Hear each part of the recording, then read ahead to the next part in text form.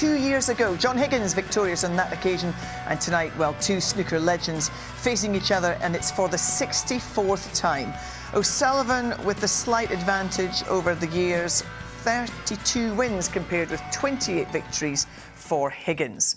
So it's time to get the action underway now. In the commentary box, another snooker legend in the shape of Stephen Hendry alongside David Hendon. First, though, to introduce the players, our MC, Phil Seymour. Good evening and a very warm welcome to the ManBetX Champion of Champions here at the Ricoh Arena in Coventry.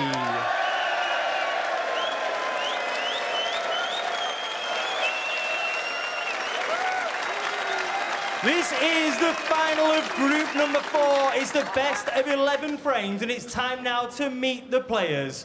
Starting with a former champion of champions and four-time champion of the world, the Wizard of Wishaw, John Higgins.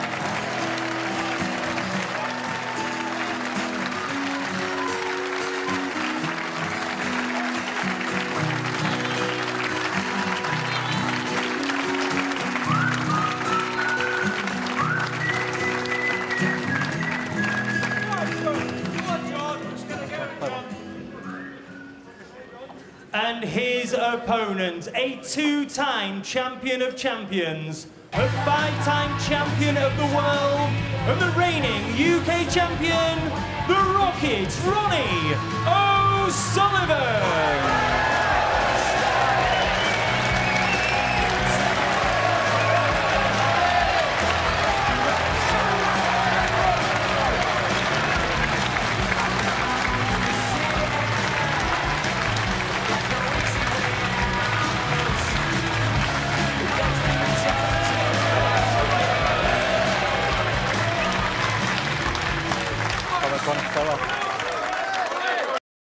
Well, this is snooker's version of El Clasico. Not only two all-time greats, but crucially two players still very much at the top of the game. The world number three, Ronnie O'Sullivan, and the world number four, John Higgins, both winners of this champion champions title. Thank you. The first frame, Ronnie O'Sullivan to break. The only man who's got more titles than these two is sat next to me. Looking forward to this one, Stephen. Yeah, this is pretty much as good as it gets tonight. It's just probably a little bit unfortunate that this is at the start of the week and not at the end. More than worthy of a final of any event.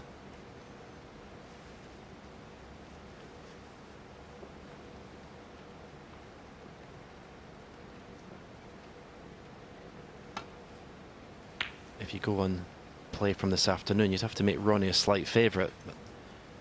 What was unusual about John Higgins, although he had back-to-back -back centuries, the amount of unforced errors he made in that match was very unlike him. Can't afford them tonight. It goes without saying.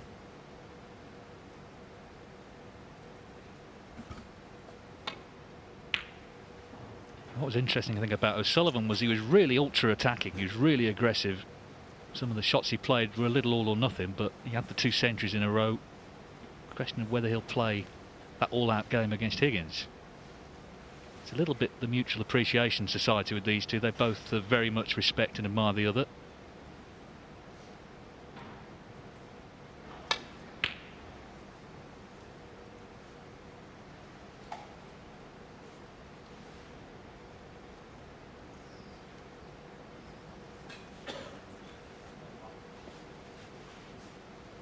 Slightly got away with that in terms of the red in the middle of the table. Very fast table, this Rasson table.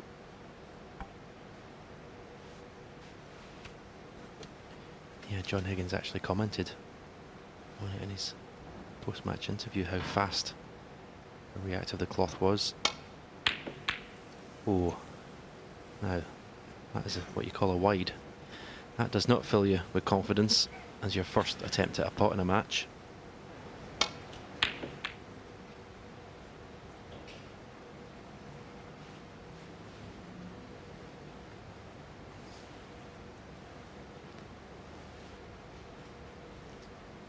both players started very slowly in their matches this afternoon.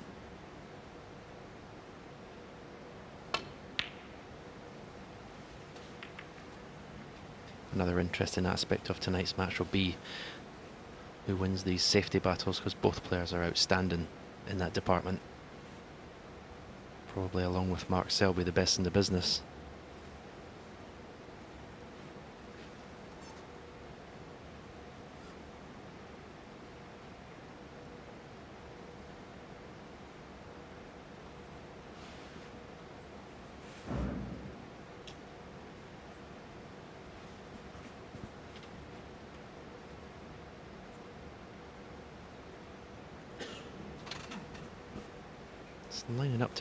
Be a scrappy frame the, where the black is.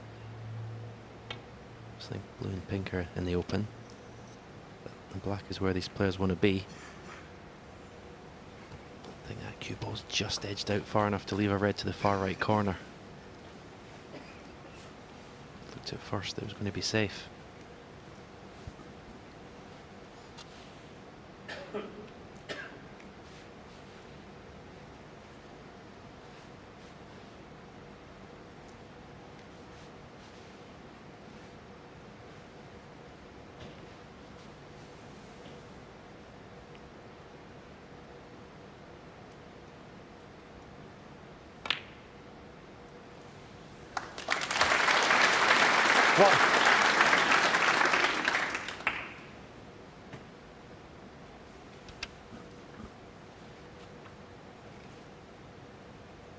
Aggressive here. Top spin into the bunch of reds.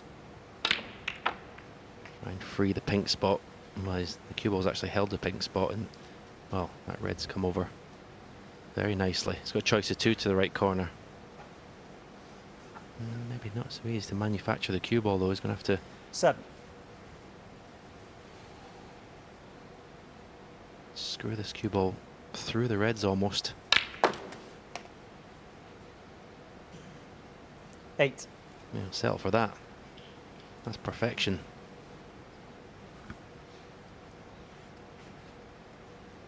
Higgins just looking to get going this season. He was saying in Crawley that took the World Final defeat pretty badly to Mark Williams because, of course, it was two in a row, having lost to Selby last year, and just didn't really have the enthusiasm. But he'll be bang up for this tonight. How could he not be playing Ronnie O'Sullivan 40. in this big tournament? This might just get him going if he can come through. 50.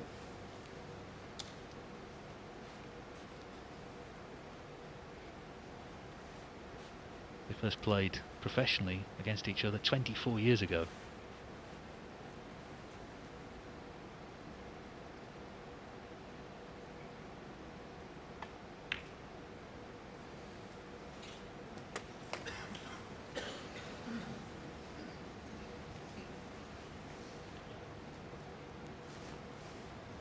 Twenty-one.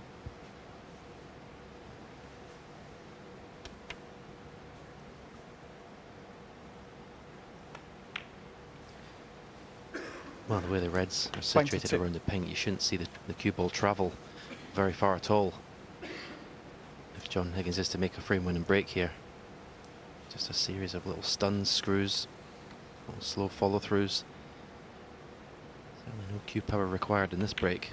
Just a nice touch, but you've got to concentrate in the pot. John Higgins, Otherwise it's just an incredible miss. Again, it's one of those unforced errors.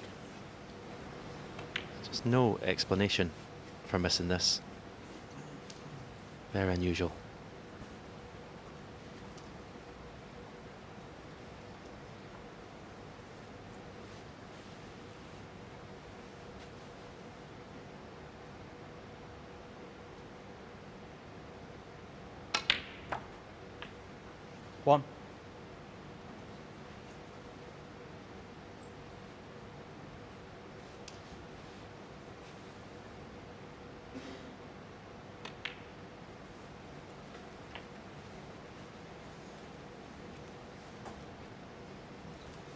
6.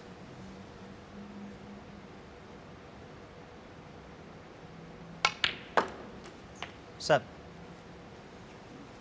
Remember, Ronnie O'Sullivan has never not reached the final of this tournament. He's won it twice, he's been runner-up twice.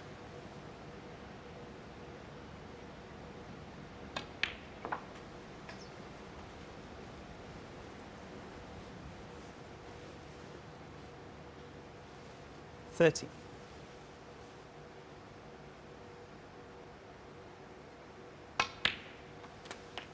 14.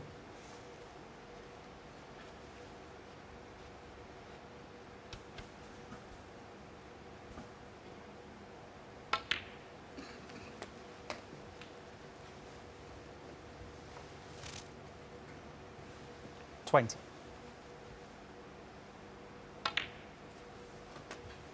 Twenty-one.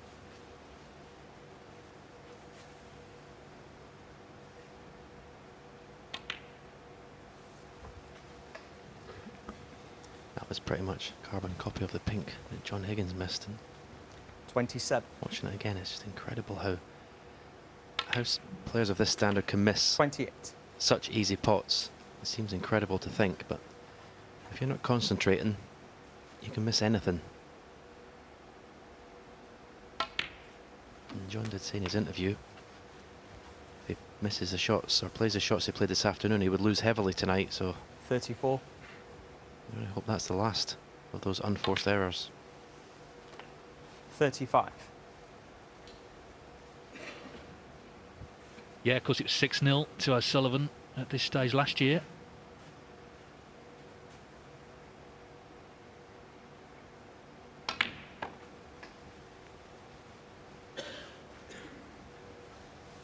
His first attempt at a pot in this Forty. frame was well wide but he was given another chance.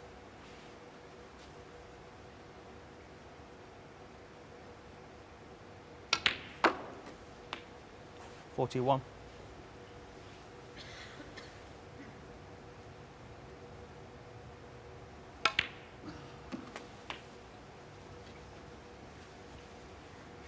So after this red, I don't know if the red that's closest to the black spot goes to right corner. 47 after this red, this is when things get a little bit more difficult.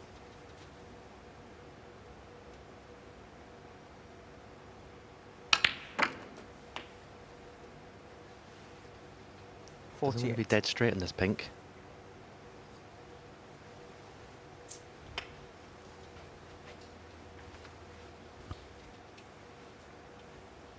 Just off straight. He may force the cue ball through and cannon the black here. That's what he played.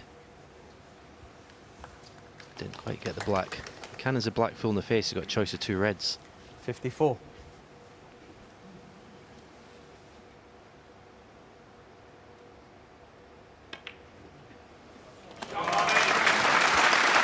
Fifty-five.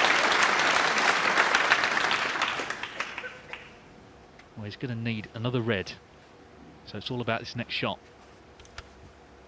Yeah, can play a cannon on the black again if he misses it, he's still going to be on the red that's closest to the cushion. And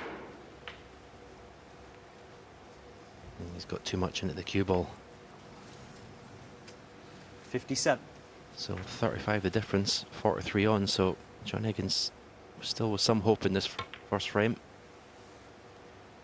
Ronnie O'Sullivan, 57.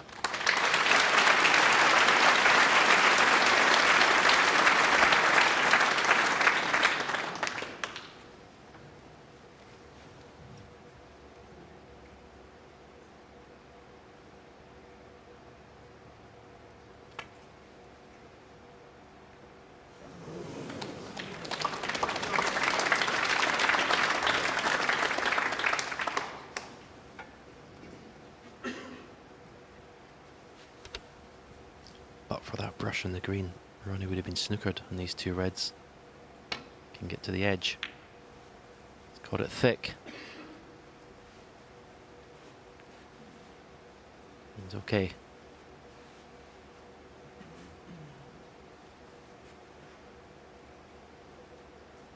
Red does go to left corner, but John's not even giving it a second glance. To try and keep it tight, try and force a better opportunity from his opponent.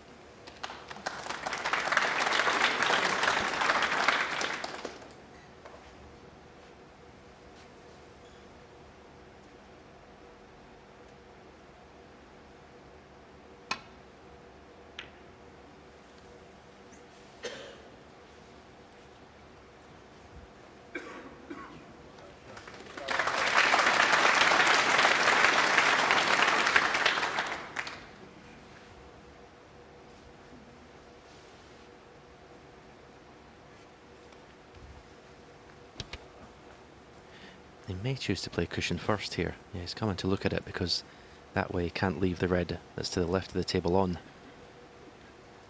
He's got to catch this right. Going to catch it thicker than half ball at least.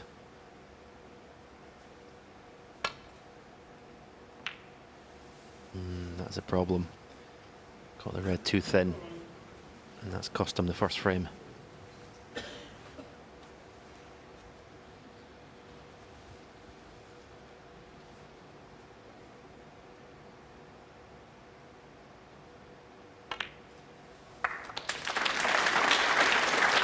One. Yeah, the really costly error for Higgins, of course, was that pinky missed when he was in, and he can't afford those tonight.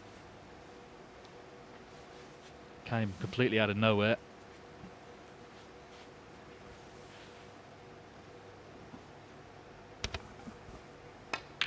Yeah, he's done all the hard work. Got all the reds into a really good position. I say it was a, the simplest of breaks to try and win the first frame. And just completely took his eye off the pot. Four.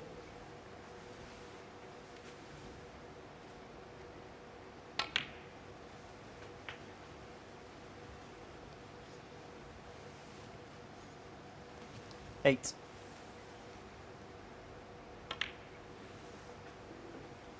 Ten.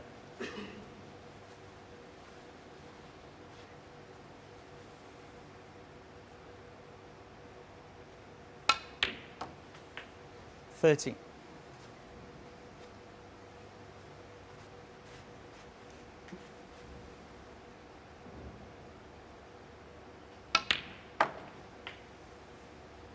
Seventeen.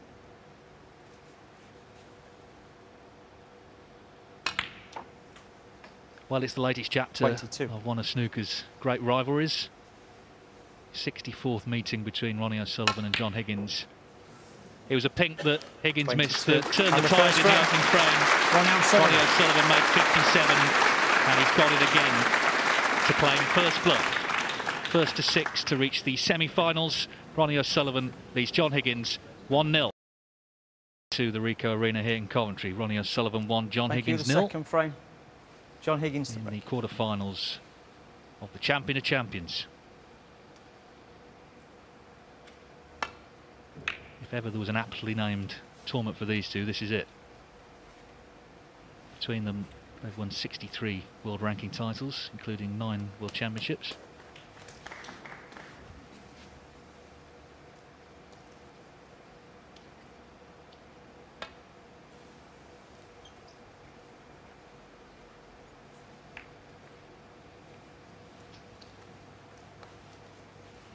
First played each other actually as juniors. The first big meeting was in the World Masters Junior tournament in Birmingham 1991 where O'Sullivan was a big favourite but Higgins beat him and then in the final he beat a young Welsh lad by the name of Mark Williams.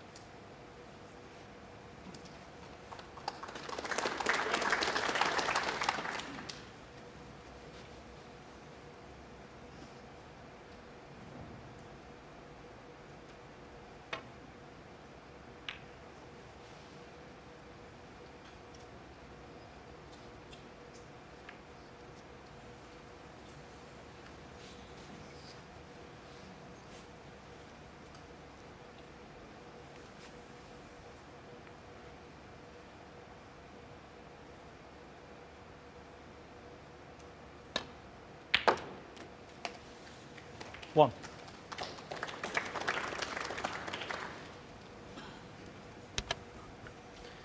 Just left himself a little tester. Blue to yellow pocket.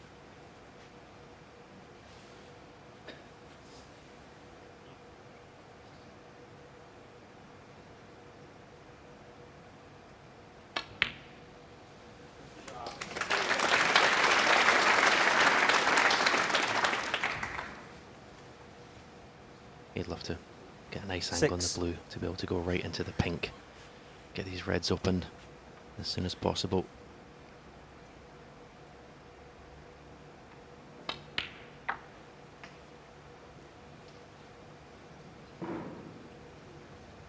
Seven. We did that this afternoon quite a lot, John Higgins. Overhit lots of positional shots.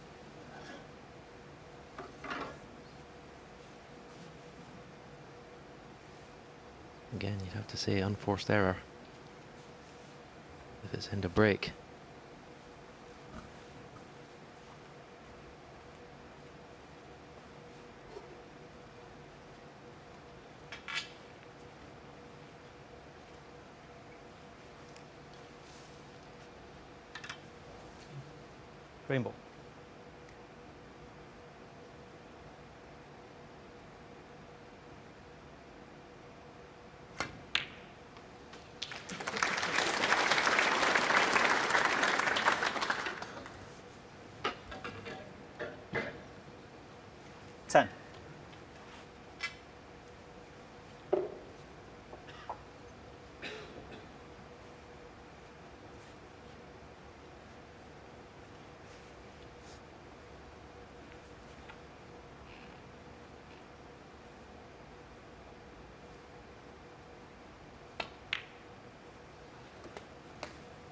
11.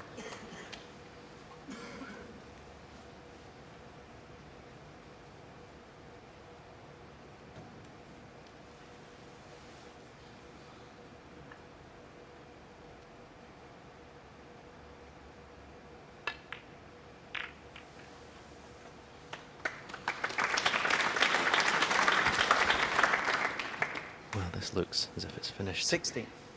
First glance, absolutely perfect just to nudge that red away from the black. It's a result there. Surely not. John Higgins, 16. Well, that's incredible. I mean, it's a fast table, but apparently not fast enough. It was the only way I could play that shot dead weight because any harder they wasn't going to be on the black.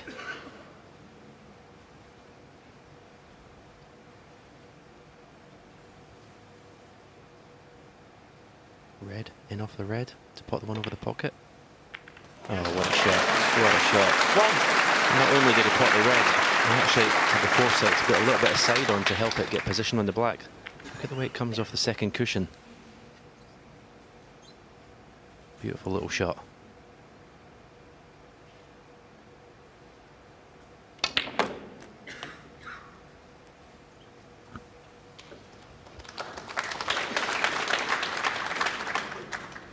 Eight.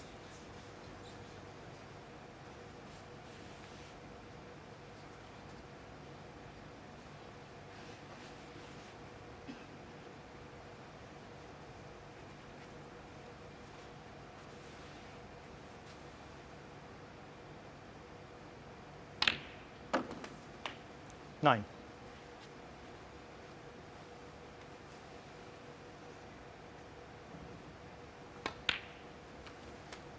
I think you always expect matches between these two to be close, but actually recent ones haven't been. Sullivan won 6-0 here last year. And in 50. some of the Home Nations events, Higgins has had some, some big wins. 5-0, 5-1 last two tournaments. 60. But the signs are not good for the Scotsman so far this evening. There's another chance there he had.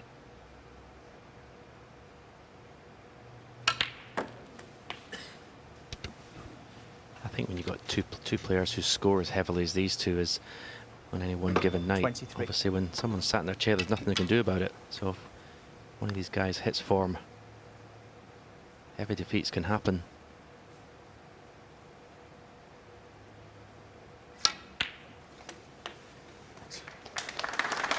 Solid shot with the rest. 24. You go by body language, the way the players are going around the table. There's no doubt who looks the more positive. That's Ronnie. John, even this afternoon, just looks a little bit tentative, a little bit low in confidence. 31.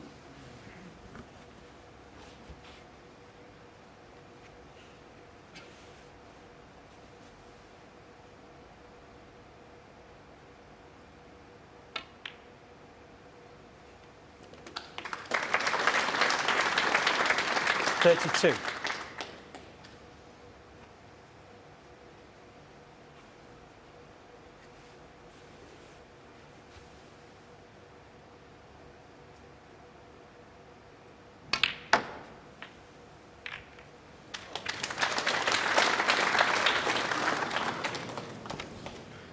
Well, that's 35. incredible. He's hit the bunch in exactly the, the perfect place. To not be on anything. Watch this. Important here that he missed the pink and got into the reds right in the middle, and he did that. Very unlucky. This is quite an acute angle if he's taking this red on to the left middle. Mm, thought better of it.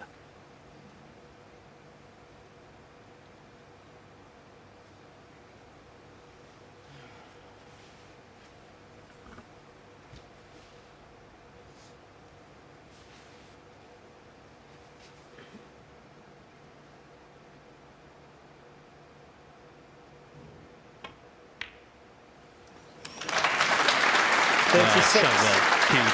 He did seem to pick twice, but then got back down and knocked it in. He was unlucky not to be on something easier.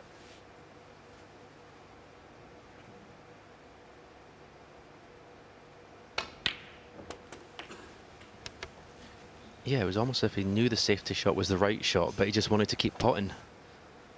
He felt so confident. 42. Didn't want to leave the table.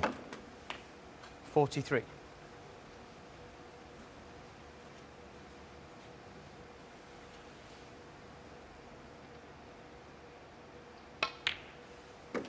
Only his third tournament of the whole season, but of the previous two, he won the first one in Shanghai, got to the semis, the second, the English Open.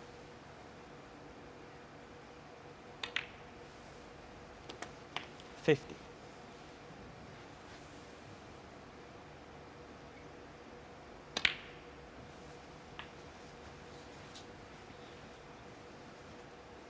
Just checking the scores, couple more reds needed. 56.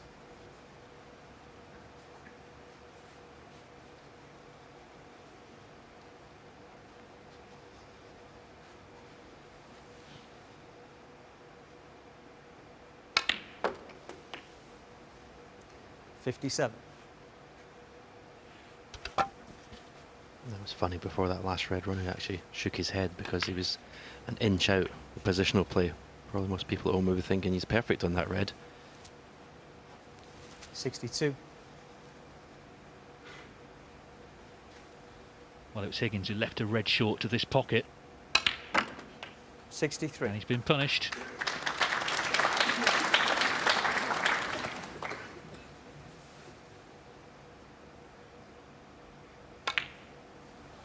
Yeah, as I mentioned, there's the two or three times it's the, the unforced errors that are costing John. Sixty-eight. He was in first in both frames, but he's lost both of them.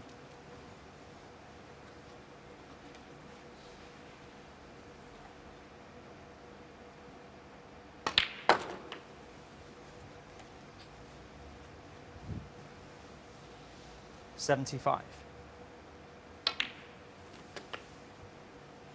Well, he made two centuries this afternoon to take his career tally to 959.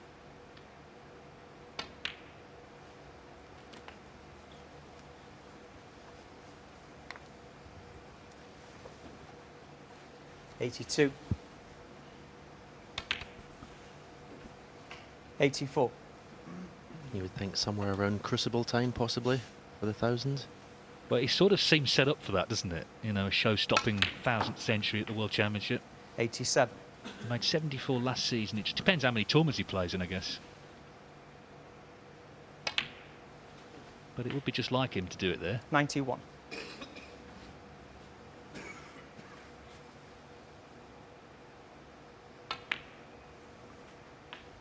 Ninety-six. This is going to be another one for the total.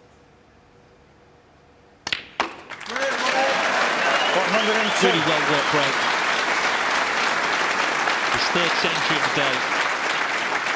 John Higgins has got to cut out the unforced errors because a couple of costing two frames here. Ronnie O'Sullivan. Ronnie O'Sullivan, to the delight of this big crowd in Coventry, is dished up with 109 and he takes early command of this quarter-final. He leads John Higgins by two frames to nil.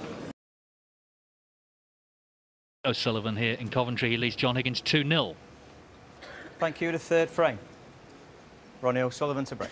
Shaun Murphy waiting in the semi-finals of the Champion of Champions.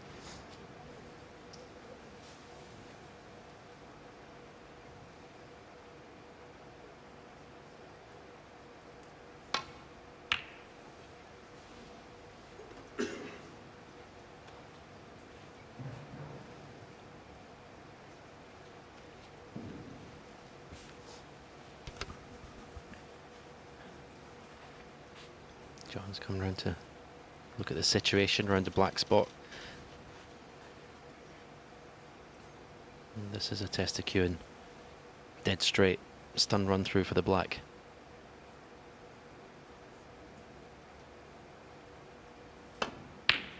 Fabulous shot. Fabulous cueing.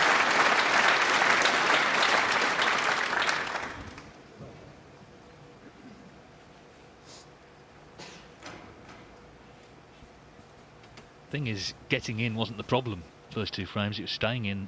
Just a couple of misses he was punished for.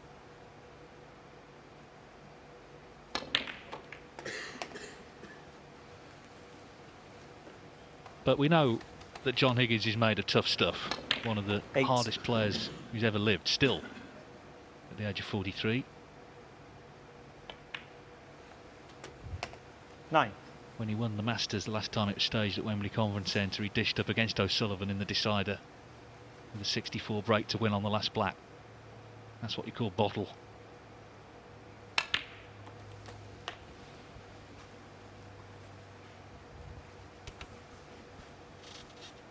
Sixteen.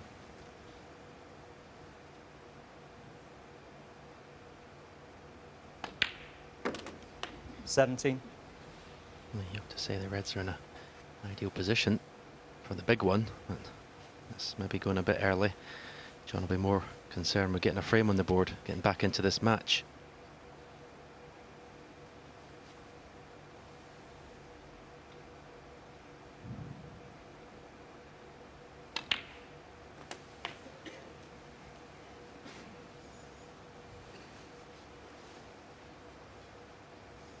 Twenty-four.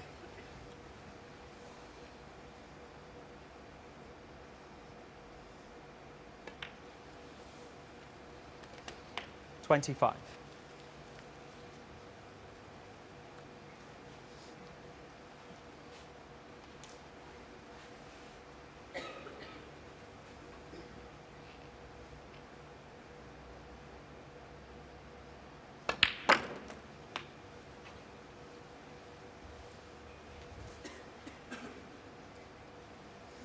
Thirty-two.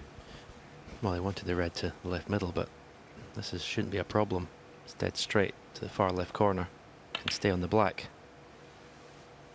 Thirty-three.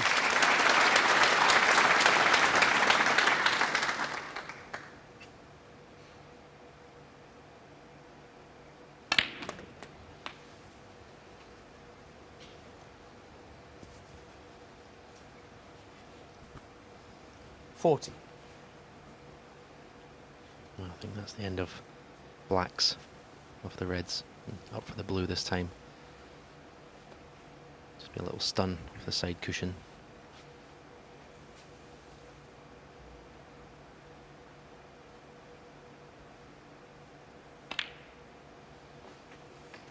Forty-one. He's going to go into the pink here, it's imperative he gets a full ball contact on the pink. If anything, I would err to the side, the left side, as we look up the table from the black. When he's aiming down the cue ball, that tells me he's playing for the loose red first. And he's played it well. Lovely shot. Forty-six.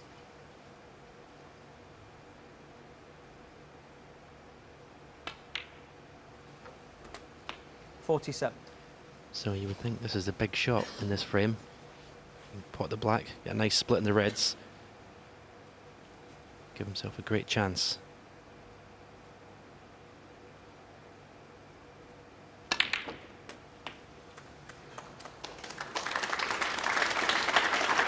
Yeah, played it perfectly.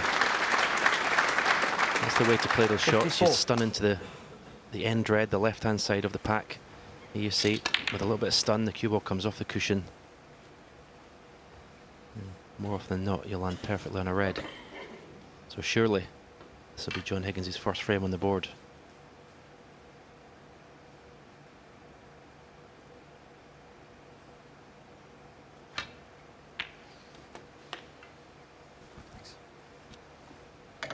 Fifty-five.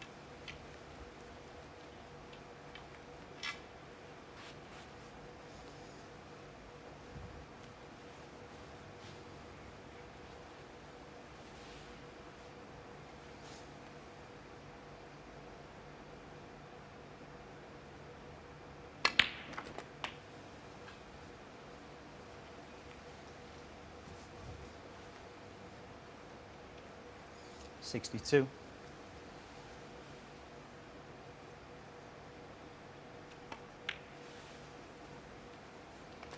Sixty-three.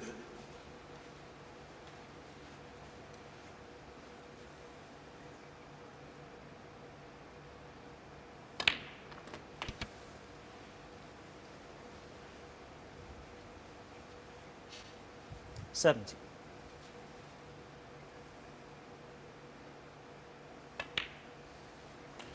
Seventy-one. The crowd applauds because that's the point where Ronnie Sullivan now needs a snooker. John would love to carry on and make a century break. Seventy-eight.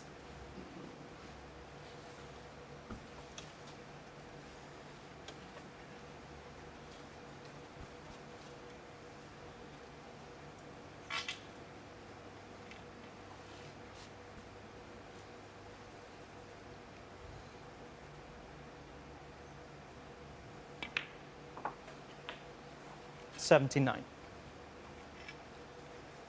Well, he's just focused really well, and we haven't seen the mistakes of the previous two frames, which uh, really cost him dear.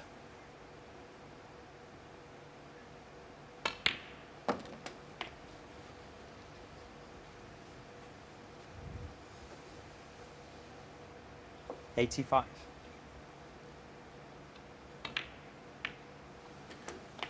Brings off the safe red. Eighty-six.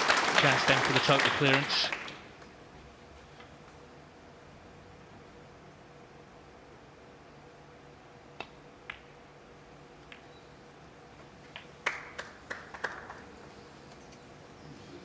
Well, it's just gone wrong. Ninety-one.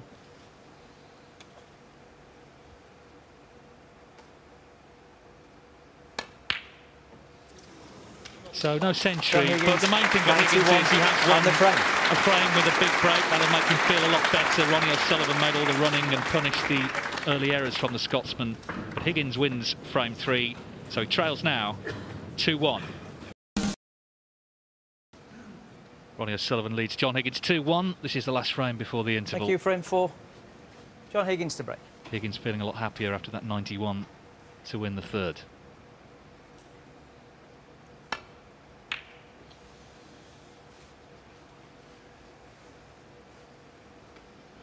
So one thing O'Sullivan knows about Higgins, of course he can beat him, he can beat him heavily, but he won't intimidate him. He's going to have to earn the victory.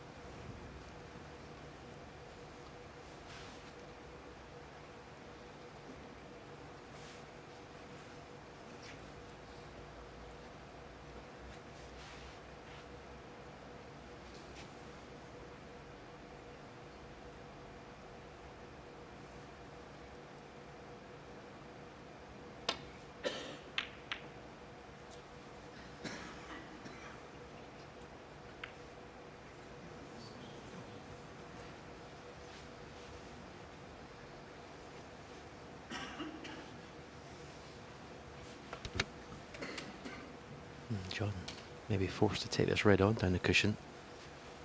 He doesn't want to really.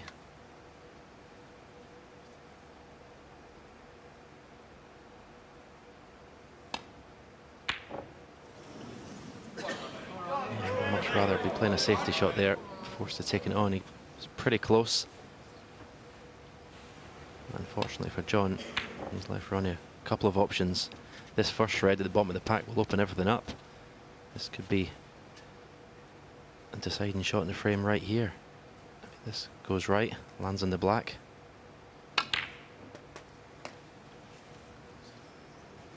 Wow, One. it was only the sight on the white that kept Ronnie with position on the black ball. Let's see when it hit the cushion, right hand side, brought it down the table.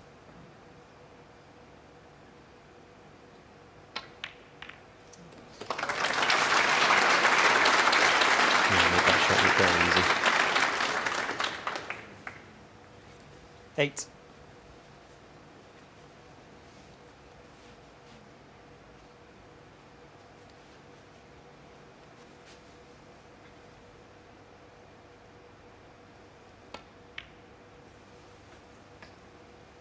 Nine.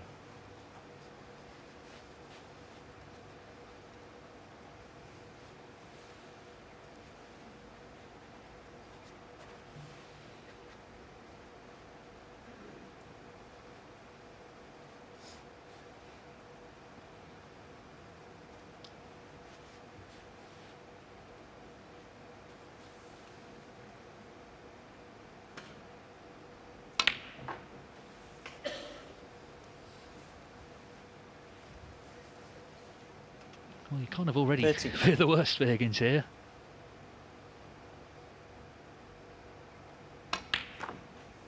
Fourteen.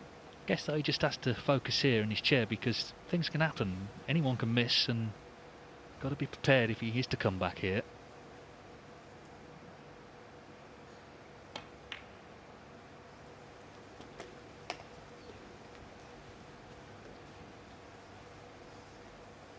Twenty-one. Twenty-two.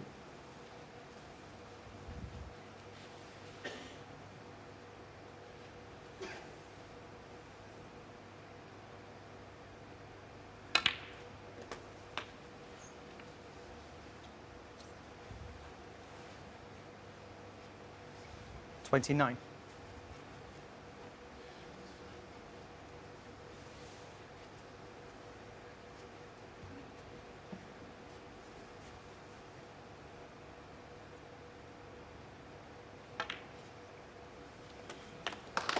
Thirty.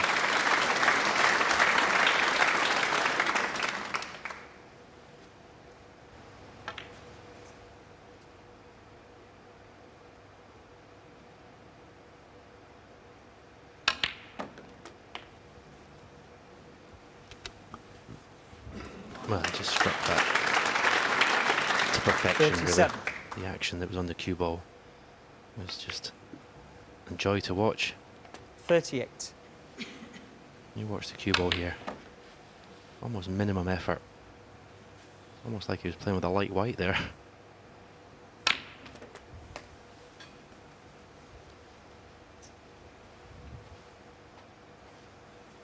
Forty-five.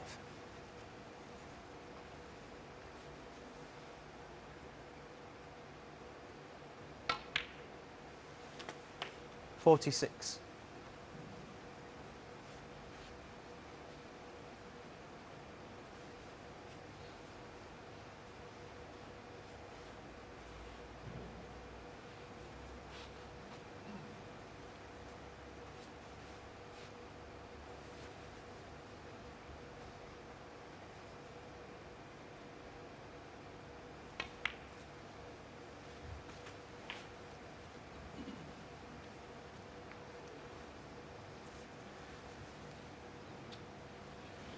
Fifty-one. Well, a shake of the head from O'Sullivan. Suddenly this is slightly awkward. Stretching on this as well. He's going to have to get the extension on. Another one.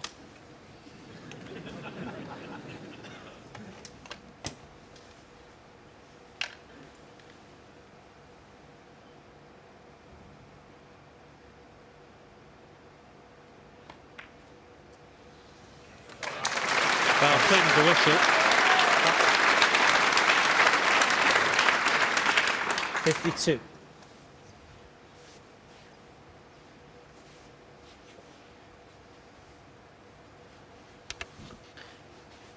Well, it's a completely different Ronnie O'Sullivan than that started his match against Stuart Bingham this afternoon. He didn't look really with it for the first frame and a half. At the moment, he's he's prowling around the table. You can see in every shot he's given it 100% thought and attention. If he's an inch out of position, he's disappointed.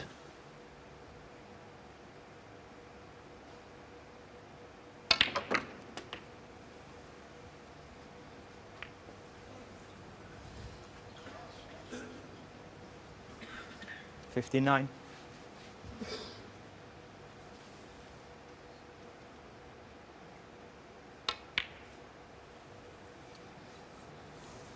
Yeah, well, Ronnie he was going well, but just ran out of position.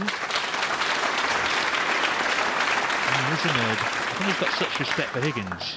Not only, of course, does he want to beat him, but he wants to play well in doing so. 59 the break, plenty still on. This is so much tougher than it perhaps looks on the screen. Such an acute angle. Brilliant shot. Play that slow drag. That was class.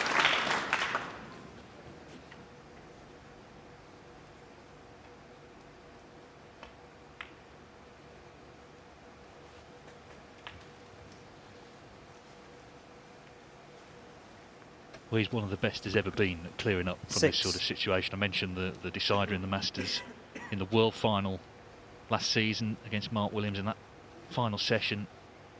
He made all sorts of miraculous clearances to make the match a lot closer. Seven. And this is not a straightforward shot to play. The way those three reds are in a straight line.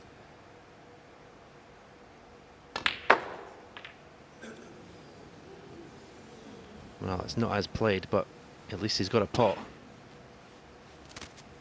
12.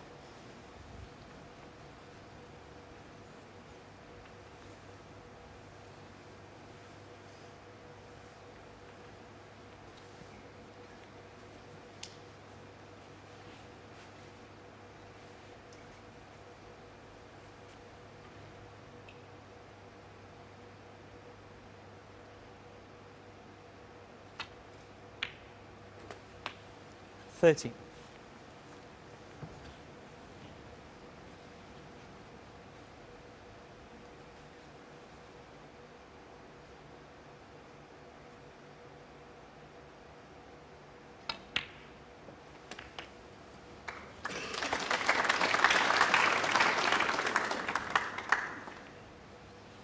Twenty.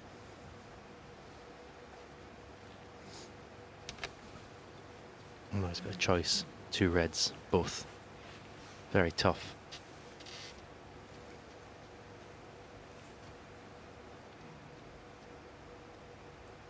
Watch how still John's head is when he plays this shot. Never moved. That's the secret to those shots. 21. And Take the cushion. What a steal this would be.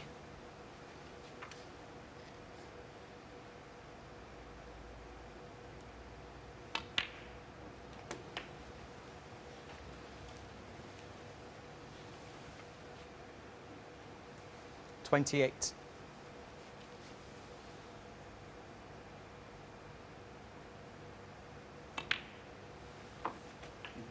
Yeah. Twenty-nine. Hmm, there's a chance. Oh, he's landed pretty straight in the blue. I was going to say if he could get close to this red and to the left of the pink spot, he might choose to play for the green. Because a half ball angle in the green would give him the choice of either to move in the red away from that right cushion or just dropping in behind it.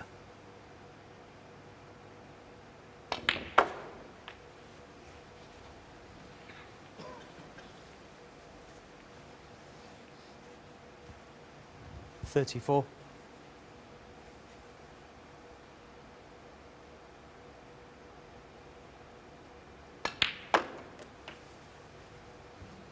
Thirty-five.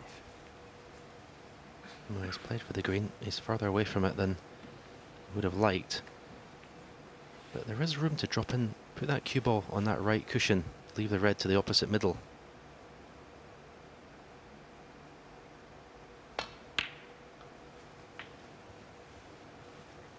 Oh, he's just landed short, but it's possibly still available to this left corner pocket.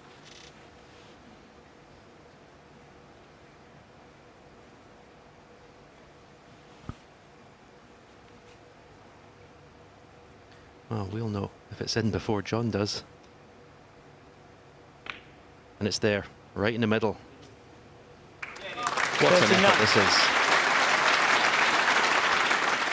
I just don't think there's anyone better in the current game at dishing up under pressure than John Higgins.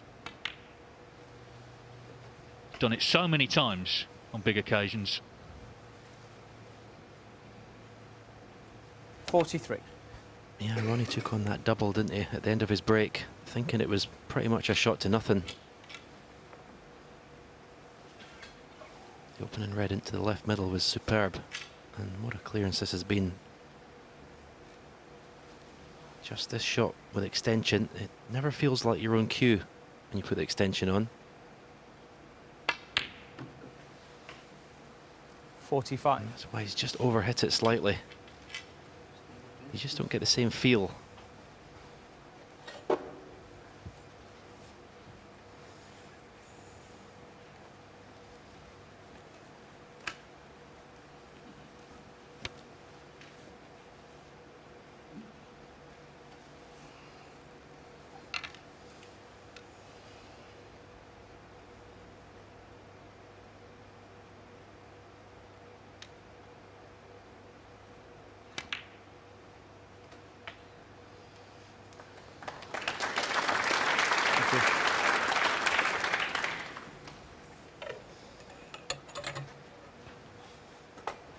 48. Needs all four remaining colors.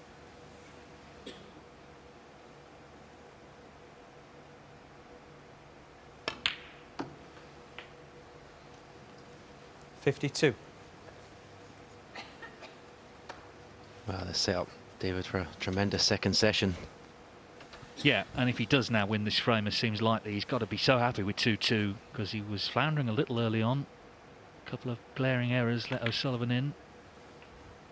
Fifty-seven. Pink and black still needed.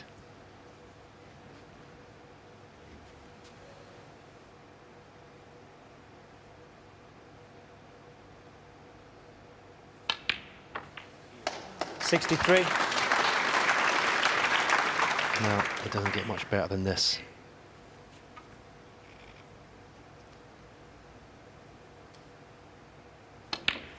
It's another brilliant clearance from. John Higgins. John Higgins. And this match is living up to the hype. Ronnie O'Sullivan made the early running, winning the first two frames, but Higgins has roared back with a great clearance there.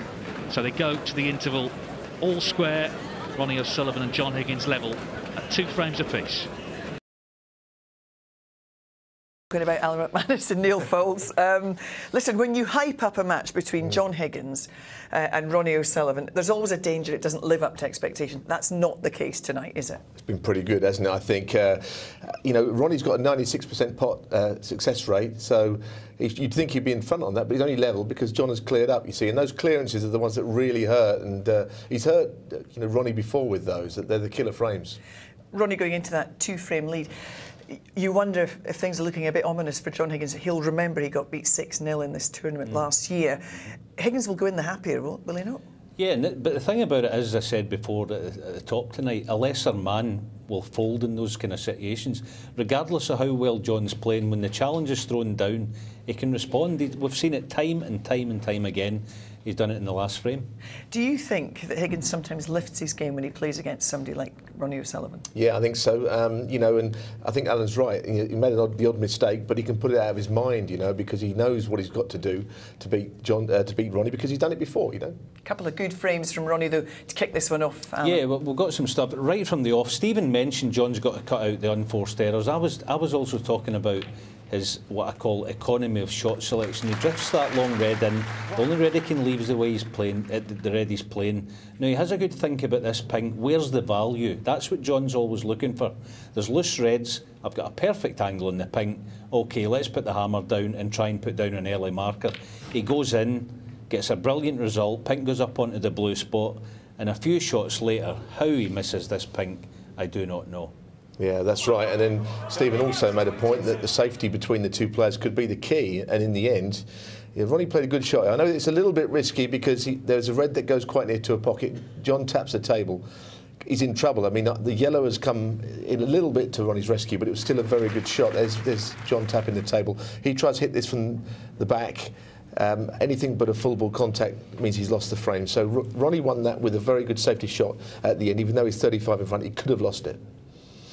And then, Yeah, he, well, he, I mean, this was this was unbelievably bad for John. I couldn't believe how badly he played that. Bad Yeah. timing, wasn't it? A combination of a D cell, uh, just a horrible shot, and, and at this stage it was worrying signs because when, when Ronnie plays that, that's quite a basic shot, but to get a good cue ball, straight away he plays this black. Now it looks pretty simple, but he's playing it with loads of taut, uh, kind of stun and he's got the cue ball and a sixpence, and now he starts getting the pace of the table as well.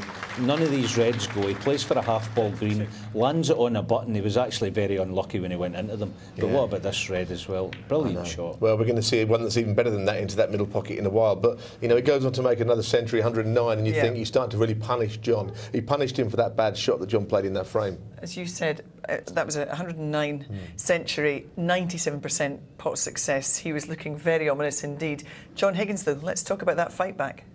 The fight, it's what he does. You know, the, the, um, the, the, this was a brilliant shot. Stephen enjoyed this again in comms, and this sets up the black that's going to that's going to follow. He lands just top side of the red, so he's got total control of the cue ball. Nice low black, and he goes in with pace here. There's intent in this just this one shot. He also puts a red in the side cushion, a little bit of insurance, but he deservedly lands in a couple of reds, and then he can get he- earns himself the right to get himself going in the match, and he carried it on into frame four. Ronnie makes a mistake, but what a red, Neil. Well, this is unbelievably good red. I mean, it's such an acute angle in the middle bag. I know that he was 59 in front, um, Ronnie, and he played some great shots.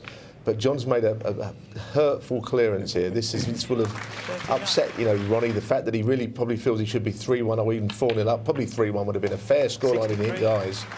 But he dished up, you know, and as I say, these are the things that, that, that they, they knock you sideways when someone knocks these in and, and wins a frame against you. Yeah, I, I uh, didn't want to say in here at the time we're watching it live, but the, as soon as John r- knocked that first red in, I marked that frame in because he's he done it against Mark Allen at the Crucible. I remember a famous one. He did it against Ronnie at the Masters, we know in the decider, where he dropped a red in the opposite middle dead weight. And, uh, and he, he made the clearance. He does it. Um, he's famous for it. Matches can turn on moments like that. Uh, When we come back on the other side of the break, we'll have the conclusion of this one at stake a place in Friday's semi final against Shaun Murphy. It's all square. Who will take control? Well, the preliminaries have taken Thank place. you. Now it's the crunch. Thank you. Frame five. Ronnie O'Sullivan to break.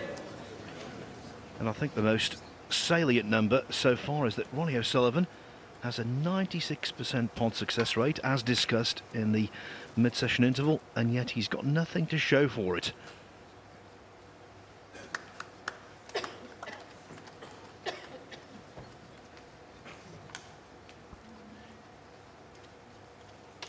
Yes, I agree. I suppose if he was in his corner, you might say, well, he's got two frames to show for it, but he hasn't got a lead, crucially, to show for it. You're absolutely right. And it seemed unlikely that he wouldn't lead just before the mid-session interval. It seemed he was going to be winning three of the first four, but these two have been around long enough to put what's gone before totally behind them. And we go again.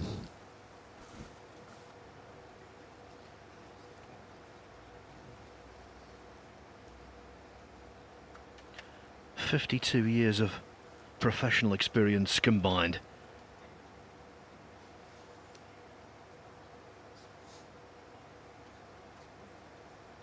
And almost 19 million pounds won between the two of them.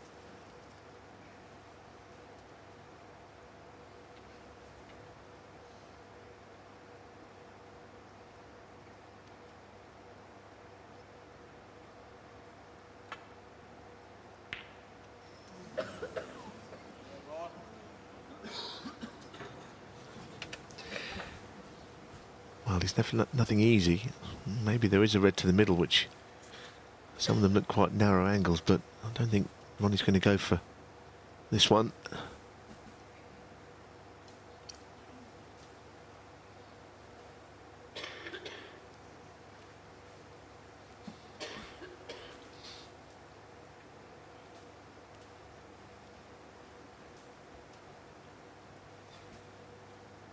Well, he's having a look now at finishing where he put his cue. So the, the red to the middle might be on his radar, but he'll have to take into consideration the fact that he might miss it. This is a, a difficult shot.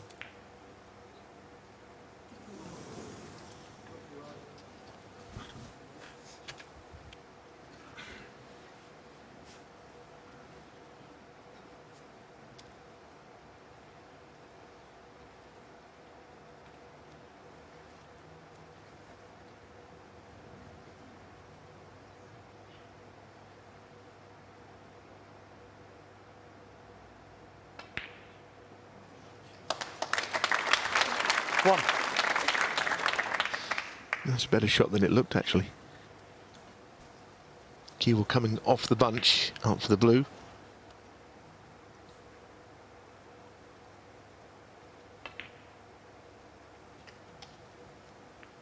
Well, that was lucky. That was lucky as well. Because he'd gone off the side of the pack, which he didn't mean to. Six. Just occasionally, both players have just misjudged a positional shot out of character. Seven. I think this table's played beautifully, but it is a different table to what we use all year round. The odd shot must play marginally differently until they get fully used to it.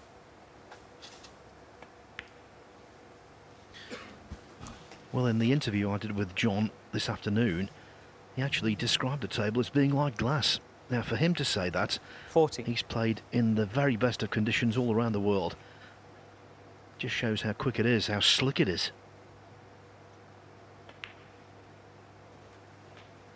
50.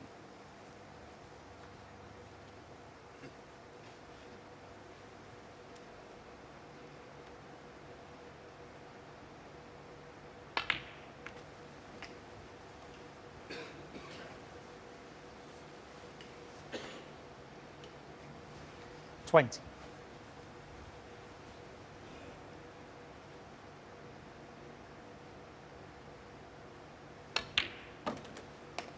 Twenty-one.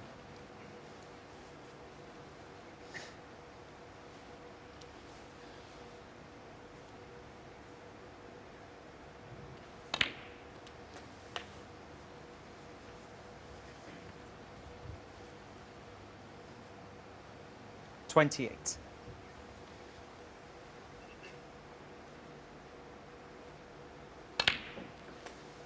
Twenty-nine.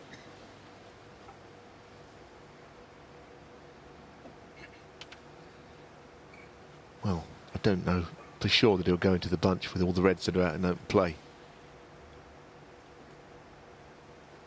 I think he's considering it.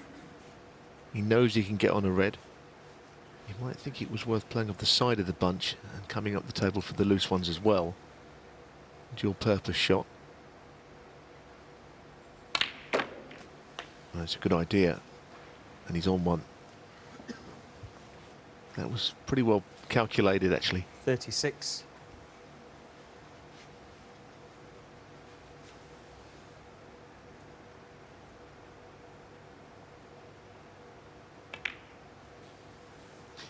What I'd say about these two, Phil, is that when they play other players, there's a little bit of fear, fear factor. Players playing Ronnie, they're a little bit in awe of him. An inexperienced opponent playing John, same story. They know they're playing this snooker legend.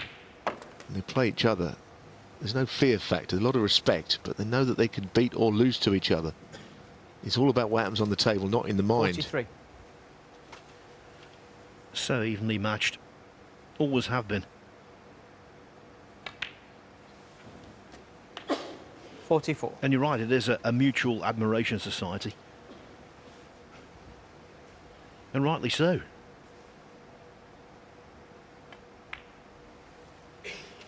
As I was saying before, it, it comes down to just the odd ball run, the odd nudge, a frame like the fourth frame, which Ronnie should have won really.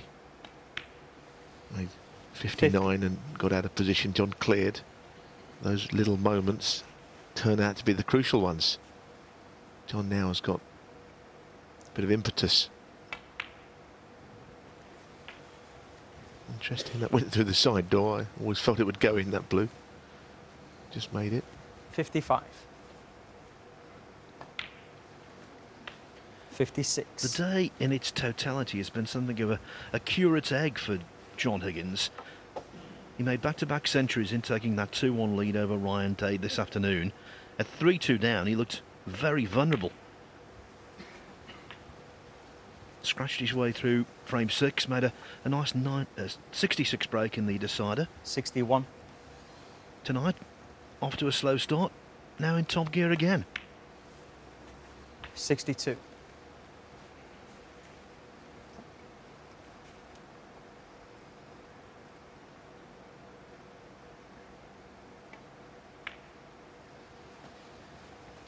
in that actually, Neil, not dissimilar to Shaun Murphy yesterday.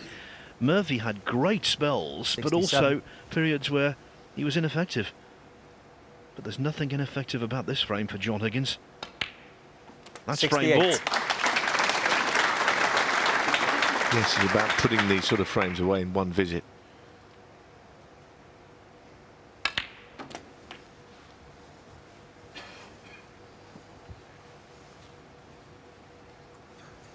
Seventy-five.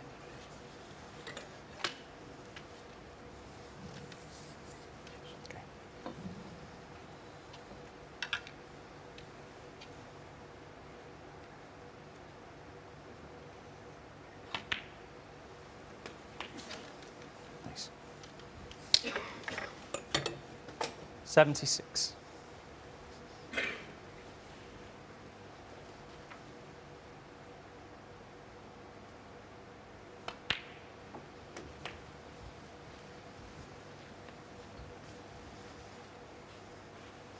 Eighty-three.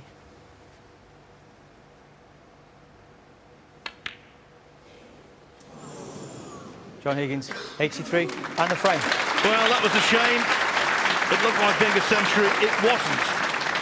But for the first time this evening, John Higgins hits the front.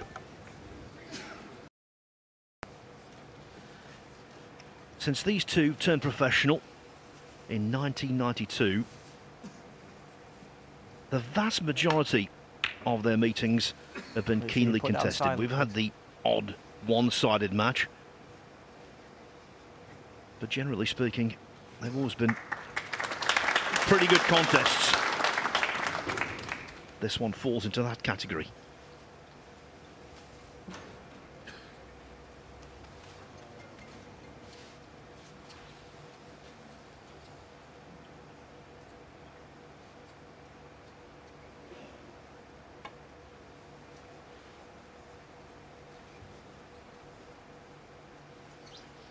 You know, Neil, all the frames they've played in those 26 years, O'Sullivan's won 352 as it stands, Higgins 334. Hardly anything to choose between them. Well, there is nothing to choose between them. Oh, the, the, this one, yeah. They've both won everything m- multiple times. And they're still right at the top of their game. After all these years. Amazing.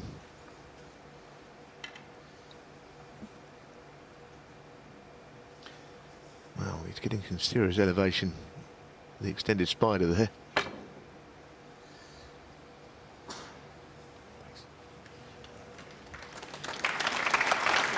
Pretty good.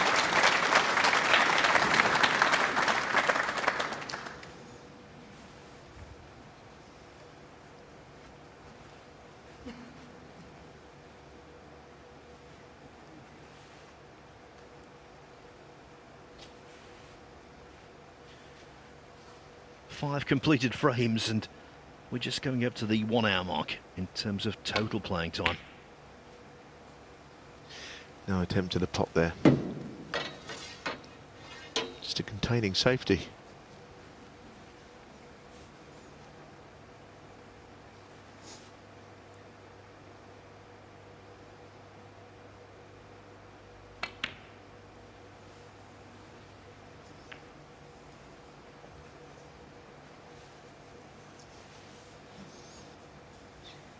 Straight away, Ronnie looking to be on the attack, looking at the red to the left of the bunch. If it goes in the middle pocket. But really, well, it doesn't go. So he's looking at something else.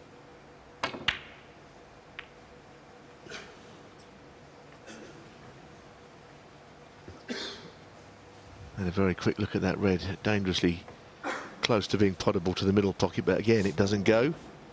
There you see the bunch in the way. Actually, quite a good shot from Ronnie O'Sullivan. It's left John with a bit of a headache. Now he could drop into the bunch, which is negative, but at least he won't stick anything. Or get the cue ball somewhere in the left corner of the table, bottom left. So he doesn't leave that red near the left middle.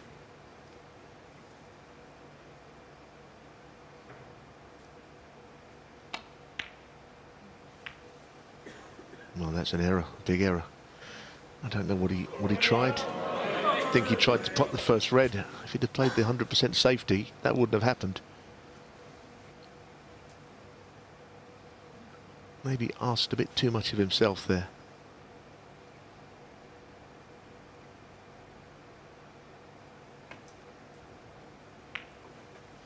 One. It's a good shot to play on the blue. Very well controlled. I I mean, he wanted the blue back on its spot, and that's what he's achieved.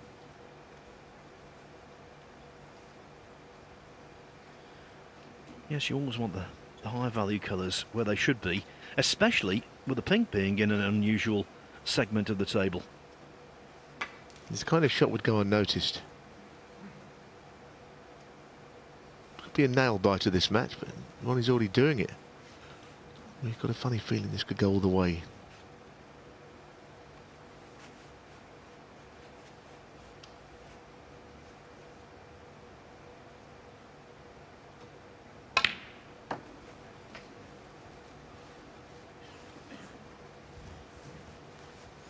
Now that red could come in play then, like Six. under his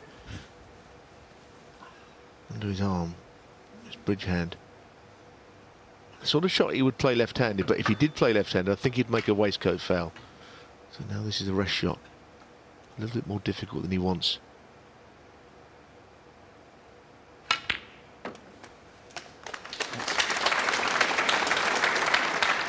Seven.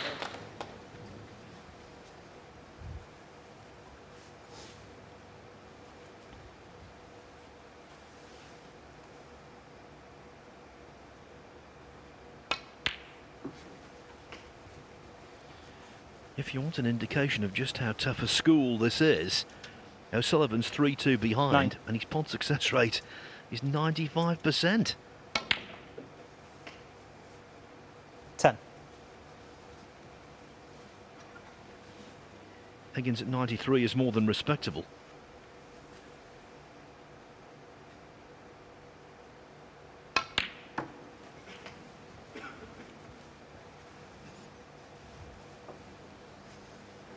Thirteen.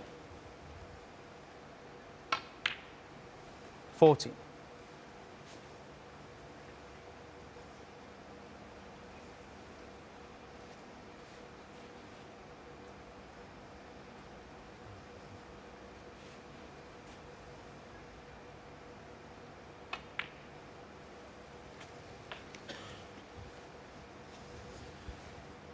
We know that O'Sullivan's got a great power game, but he's also got finesse. And that's what's required on a 20. table of this nature.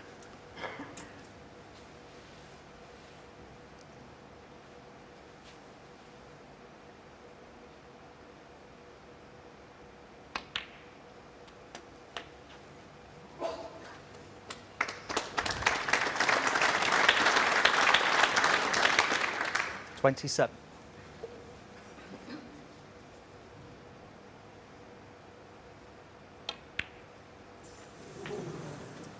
Twenty-eight.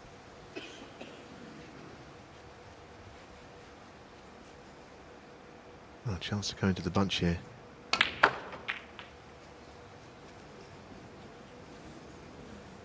A little bit of a slow walk round. He'd love to get to the red over the pocket, but the other red's in the way. This- Does he play the plant as did he play the red on the left in off from the other one? I don't think he's going to play the plant. It's the first red I think he's playing. Yeah. He didn't need the other red. Thirty-four. That's actually quite a good shot. I don't think it was full pocket.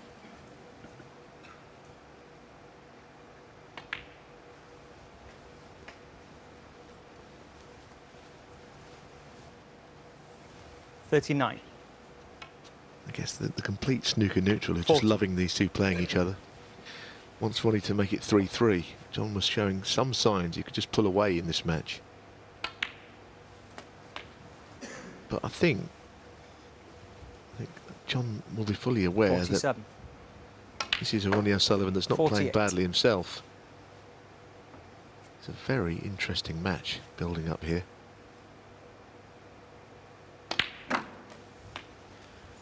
Yes, and he seems totally invested in the, con the contest. He's 55. concentrating well. 56.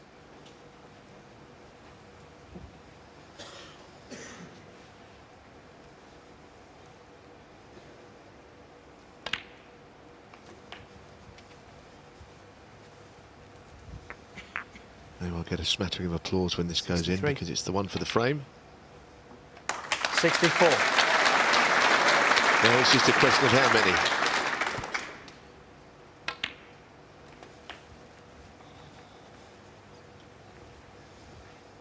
Seventy-one.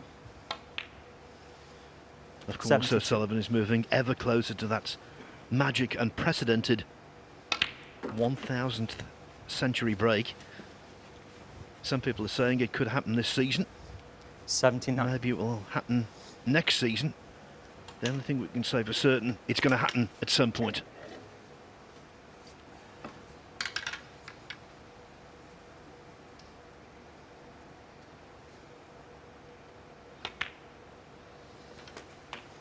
Thanks.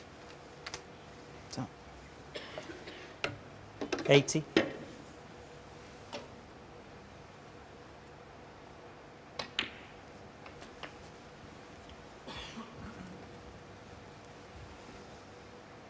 Eighty-seven.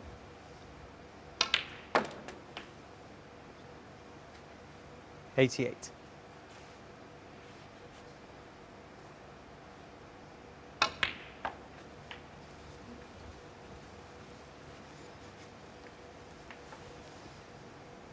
Ninety-three.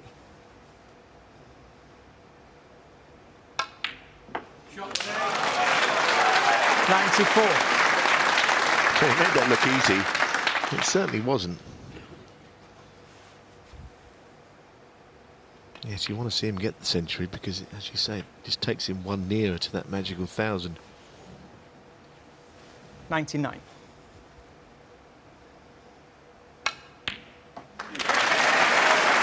One hundred and one.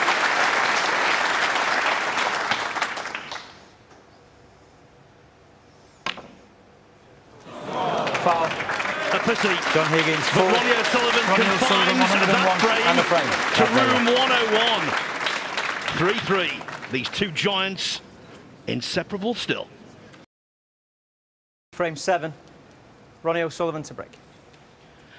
Welcome back to the Ricoh Arena here in Coventry. It's the second evening of the 2018 ManBetX Champion of Champions. And these two most certainly fit the bill when it comes to being a champion.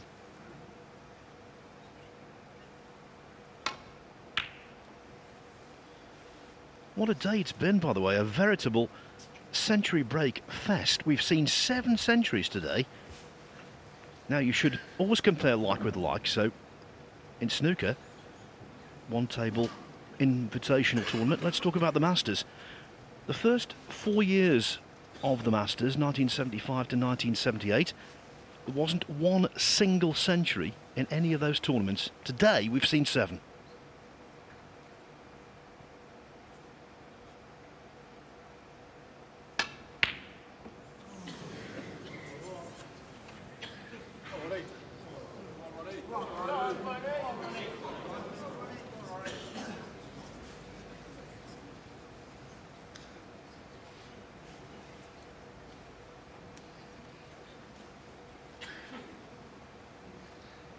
The red has not gone to safety. There's a gap between the brown and, of course, the green. It can get through.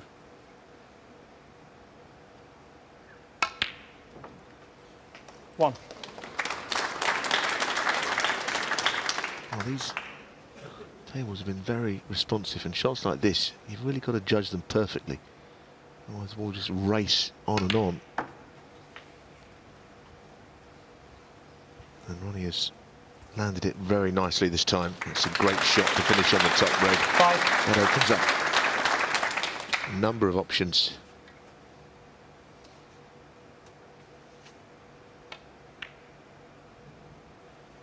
Six.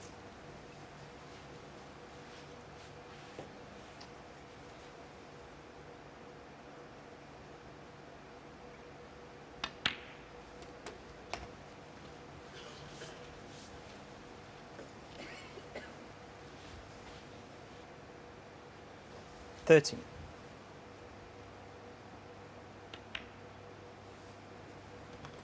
Fourteen.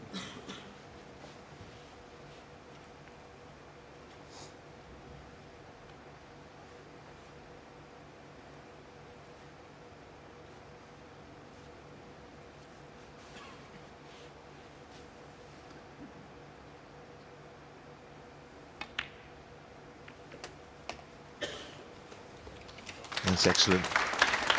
Little flick from the first red. 21. Finish on nothing there. Certainty to be on a couple of options. Now all of a sudden you feel the match could be swinging again. John having won three frames in a row. Ronnie with a century and now in first here. Never going to be much between these two. 29. So if you can grasp the advantage back, you have to take it. 30.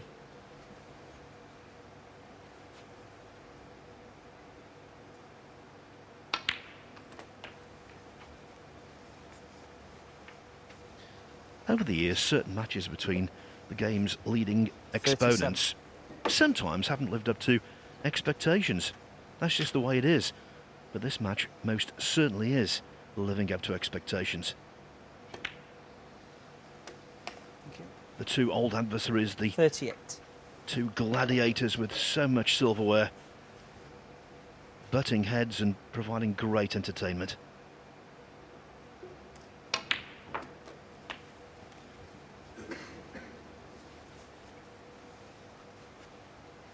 Forty-five.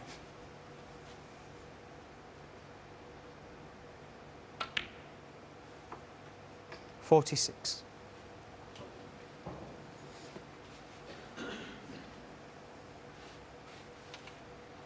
Just a question of what goes here. There's reds that go to either middle pocket. She wants to finish low on the bunch from here. Yep, I think he's looking at the red to the left middle. Just wants to land in behind it nicely.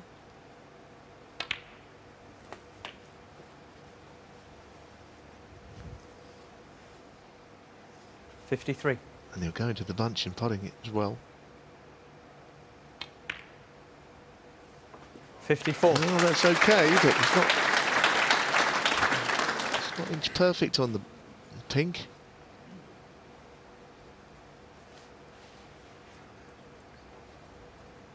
Didn't quite work out as he as he thought. Well, this is a big shot. No recovery blue.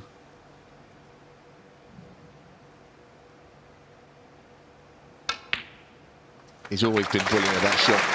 When he first turned professional, he was knocking those in for fun. He's still got it. Fifty-nine.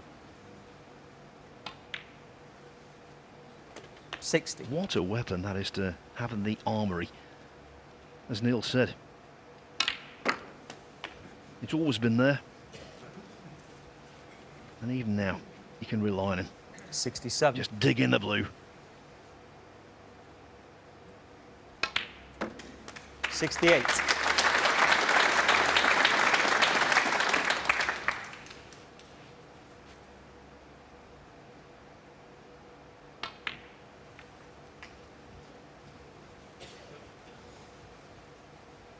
Seventy-three.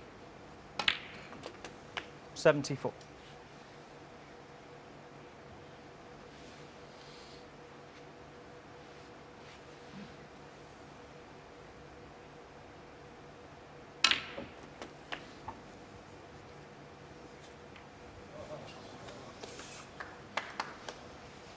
Eighty-one.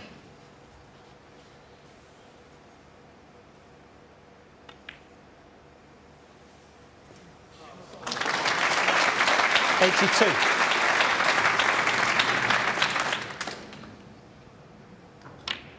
Well, he had back-to-back centuries against Stuart Bingham. They could have another Eighty-nine. brace here, along with the one from earlier. Ninety. A little nudge on the right hand red.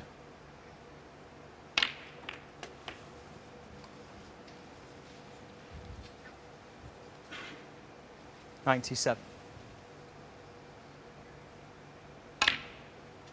Yeah. Played it brilliantly, didn't he? Didn't drop it in or anything. Oh, magic. This is absolute magic. This match is just getting better and better. 106.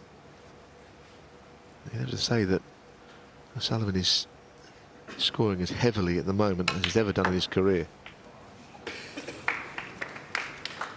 There's no deterioration in his game whatsoever. His attitude is perhaps better than it was in his 20s and 30s. 112. These are the golden days for O'Sullivan. Not the golden years.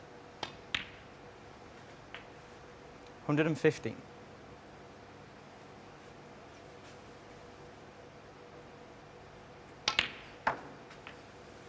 Hundred and ninety. One year after Jack Nicklaus had taken Augusta National apart, Bobby Jones said to him, Mr. Nicklaus, you play a game to which I am not accustomed. The same phrase applies here. 137 on the frame. Genius at Ronnie work. O'Sullivan. And Genius back in the lead. Back-to-back centuries. The Rocket really inspiring. Thank you. Frame eight. John Higgins to break. It's on nights like these when you really do wish you could make up your own superlatives because we as commentators sometimes run out of them. When O'Sullivan's in full flow. And also a big shout out to John Higgins. O'Sullivan. Pot success rate 97%. He's only one frame ahead. Now look at that. 16 seconds a shot as well for O'Sullivan. That is rapido.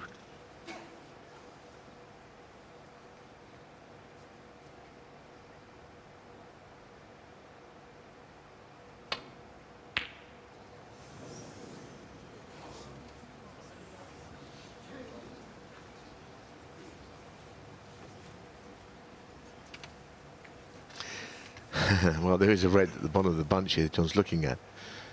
That would be a mighty shot to play at this point. I think he, quite understandably, he's not standing for that one into the corner pocket, queuing through the bunch.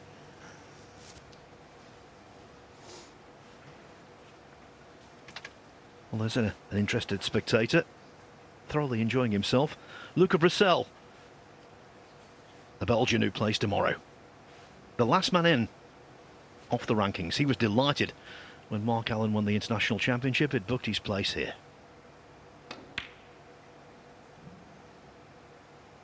Yeah, I mean, in a strange way, you know. I mean, obviously he won the China Championship last year, which he, had to win something to get in there on the off the rankings, if you like, because it gave him a lot of points, didn't it?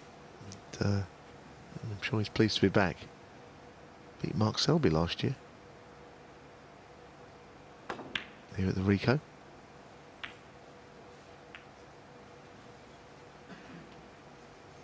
But he's probably watching these two masters because he wants to just see them play. Because he's a great player, up and coming player. But he probably knows he could also learn watching two of the greats of the game. That's another reason he's out there, I'd say. Not just soaking it up.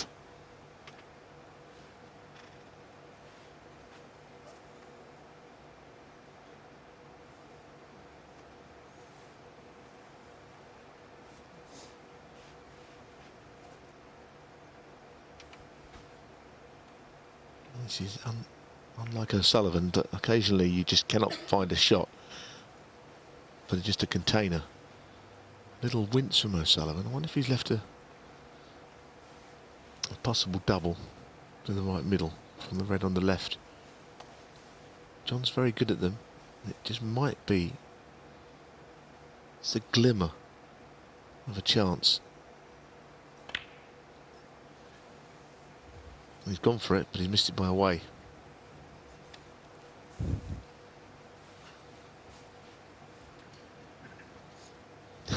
John's very good at those, but that was quite a long way out for him.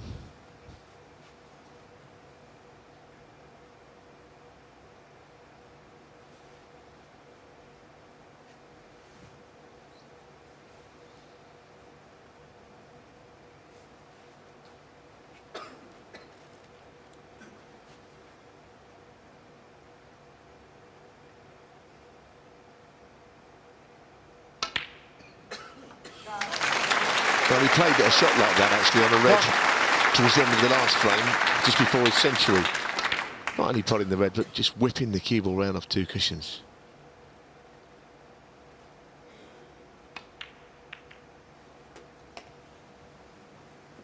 Well, there's a real bounce in his stride at the moment. Eight.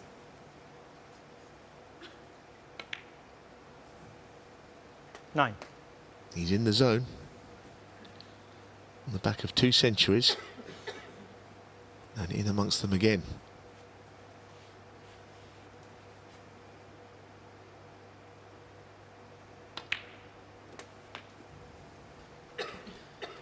And this is a man who transcends snooker. He's one of 16. Britain's great sporting treasures. 70. It takes a lot to win, but he wins in extraordinary style.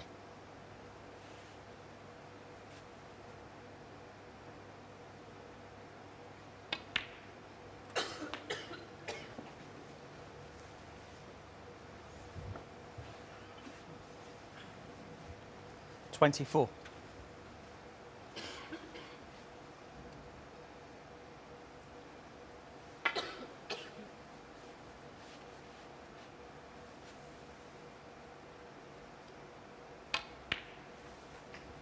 Twenty-five. And he loves this champion of champions. Before tonight, he'd played 17 matches in this tournament, winning 15 of them.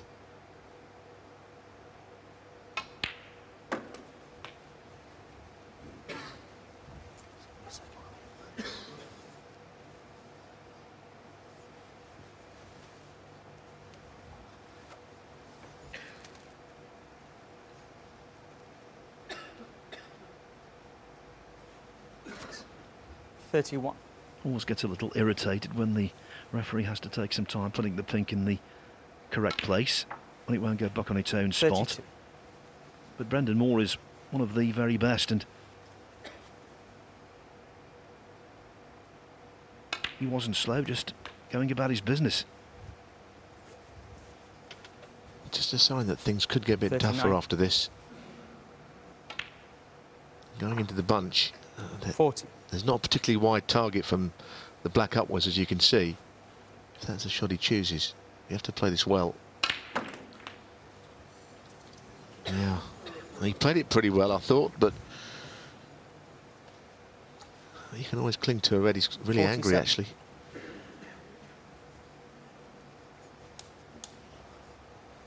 He's desperate to keep the break going, but he can't do it.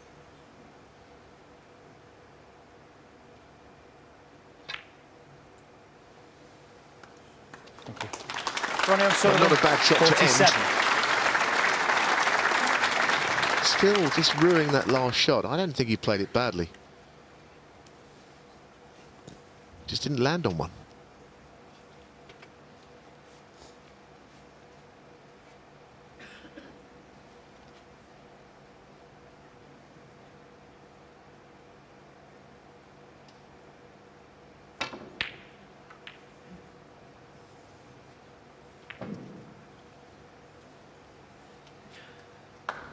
Very good white.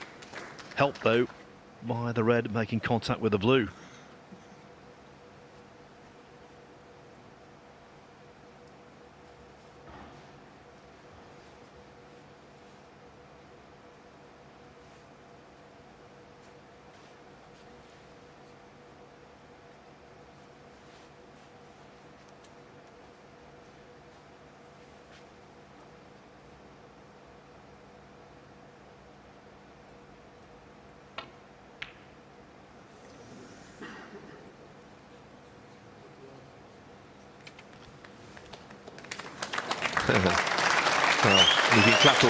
But he, he's good, but he's not good enough to play that shot. He went for the pot there. He, he knew the cue ball might come back towards the black end.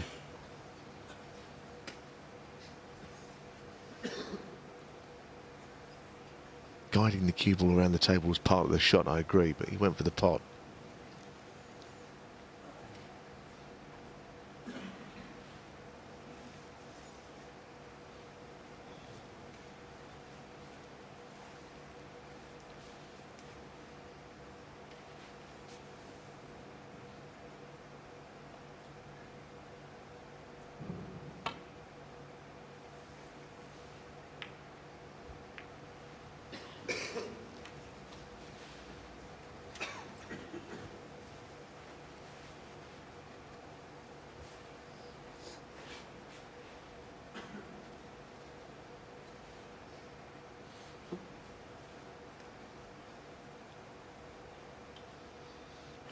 Both players would recognise, despite Ronnie being 47 0 up in this frame, that the frame it could still be won on either side, and if John won it, it would bring him right back into the match.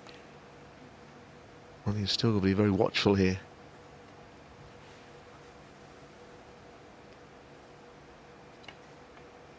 He'd be happy for those three reds to stay there. All because he's in front.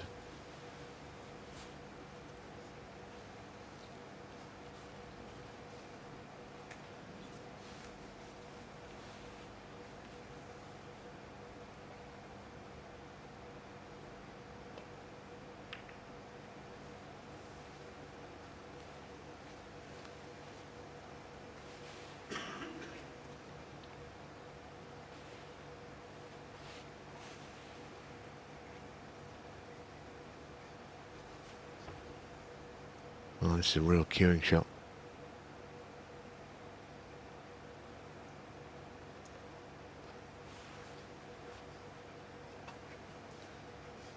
Slightly distracted by something in the audience.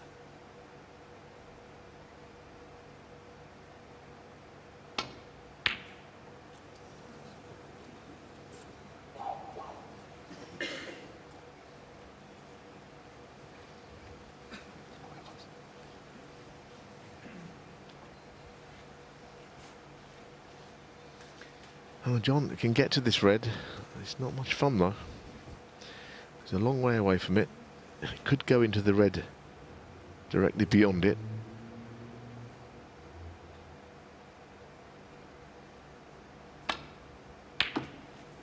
Well, he cued it supremely well and missed that red.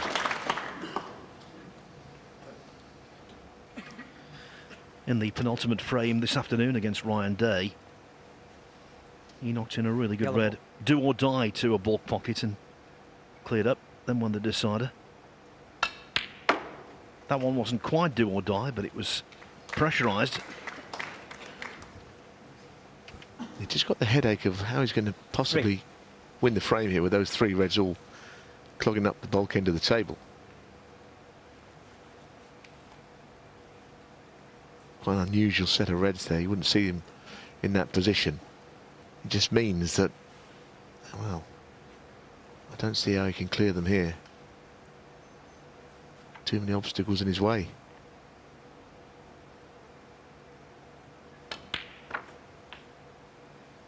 Four.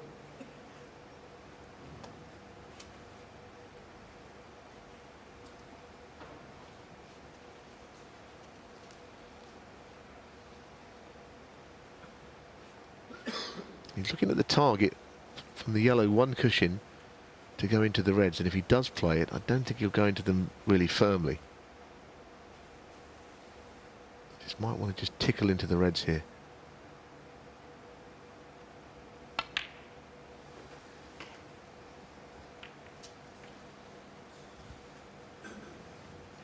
Not quite as played. Six. Not getting very far, is he here? Two reds with yellows. Hardly hurting O'Sullivan, that.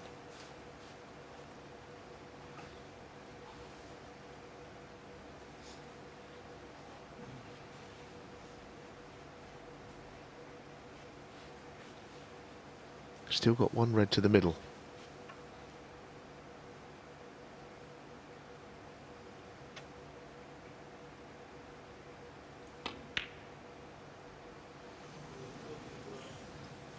John Higgins. Six.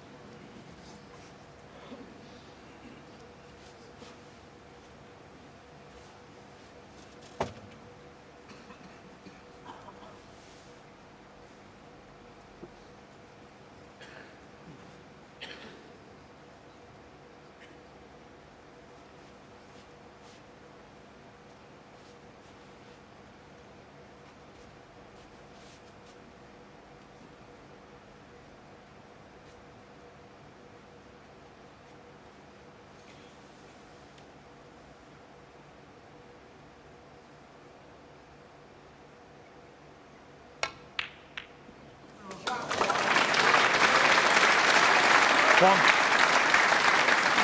Well, that should be a frame winner. That was such a good shot, wasn't it? Didn't really want to be playing it.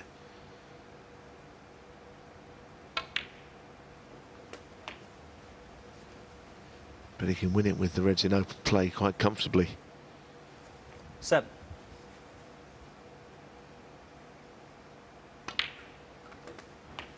Eight.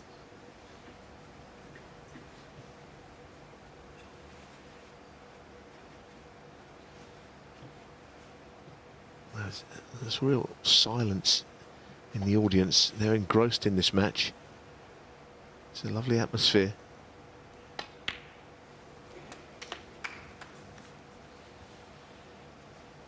And if you're not enjoying this, then you're not really a snooker fan. It's been a great occasion.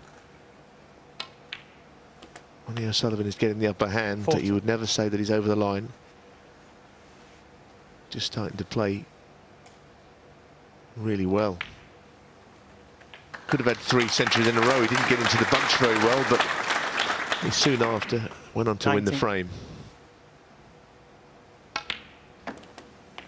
20. You're right, Neil. It has been a great occasion, and because of the inevitable passage of time, these kind of occasions aren't unlimited. Eventually, they will occur 25. no more. So while Higgins and uh, O'Sullivan are still playing top level snooker, just savour it. Ronnie O'Sullivan, 25. And the frame. Higgins concedes, and for the first time since 2-0, Ronnie O'Sullivan has a two-frame gap. This time it's 5-3. Ronnie O'Sullivan to break. 2018 has been tremendous. A possible three frames left. John Higgins needs to win every single one of them. Now Sullivan on the verge of a semi-final meeting with the defending champion Shaun Murphy.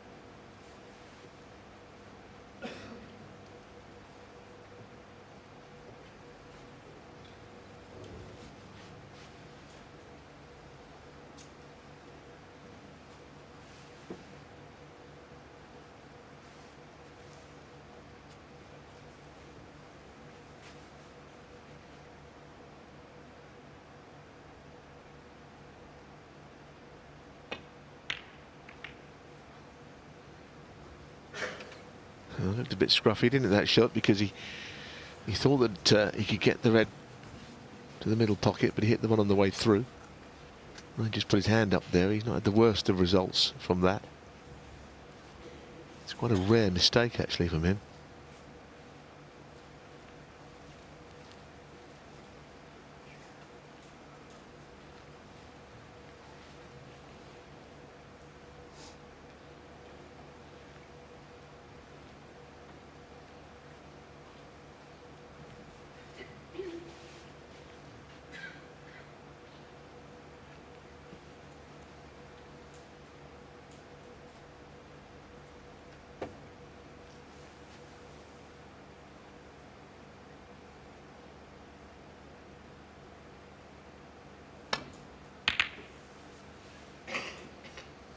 Wow, that is uh, not, not anything like what he meant. He called it much too thick. Really thick, actually. The red has gone further than the cue ball.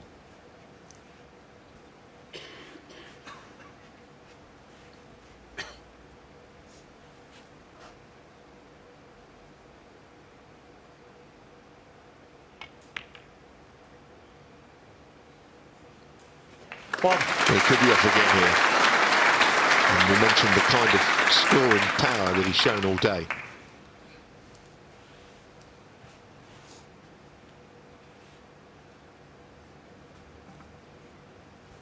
Not in five centuries.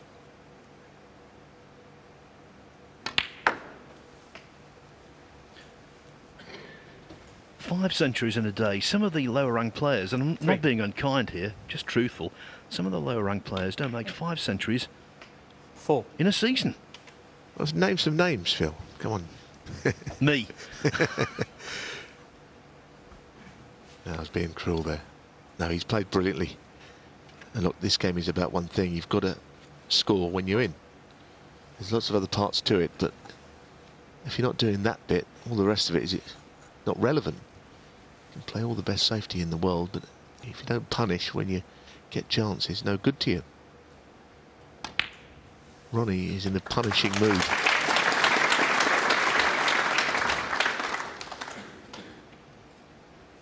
Nine. Ten.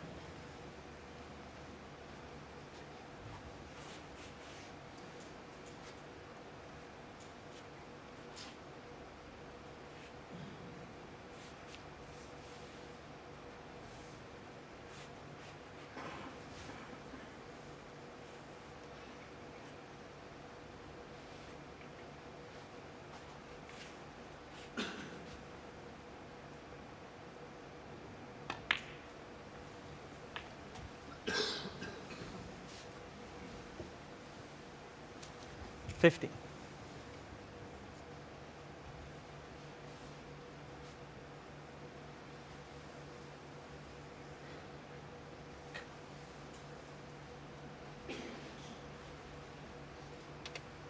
Well, of course, he'd love to. He's working around getting the black into play. That's what this is all revolving around. So it's all leading up to that. 60.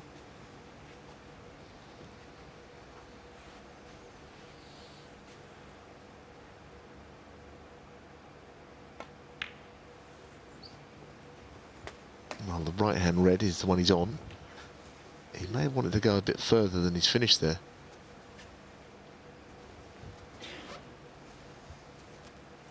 I'll see how he works this shot. I think the referee, Brendan Moore, finishes respotting this. Twenty-two. See if he can possibly get the black and the red away from each other here. Well, he played it the safe way and screwed up the table. Twenty-three. Not the worst outcome.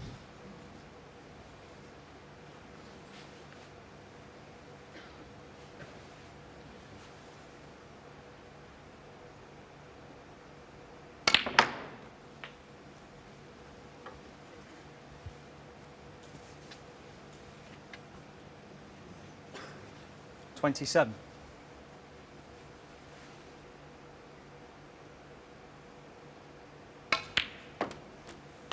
Twenty-eight.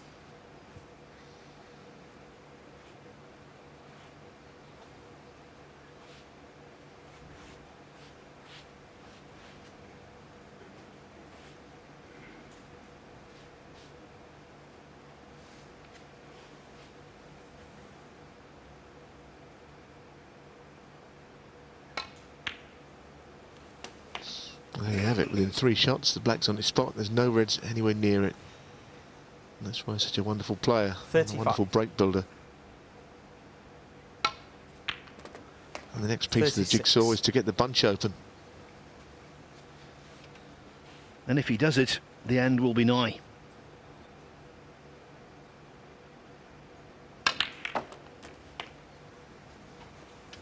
It's a very good split. He played that so well. It's all about getting the cue ball to zip into them.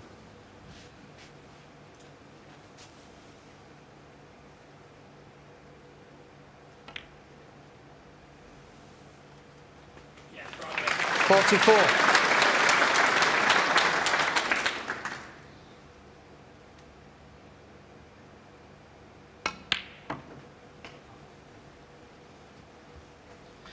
When you think about it, you know, uh, O'Sullivan is the embodiment Forty-six.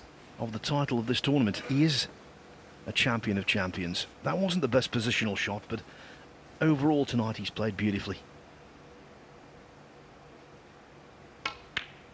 Yes, he just finished in between 47. there, didn't he, on that red, but Mayfield is literally one shot away from winning the match, and that is to get nicely on the next red.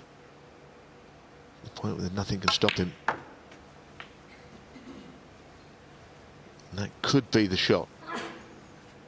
50. He's worked hard at this break. It's not been simple. Black was completely out of the game.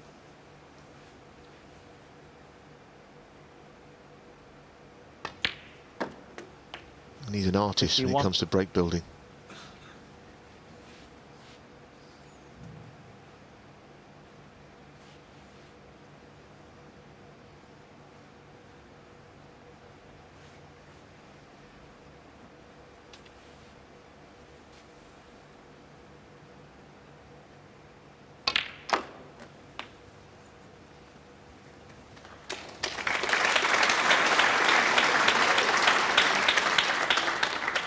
Fifty-seven. Applause, but one more question to be answered.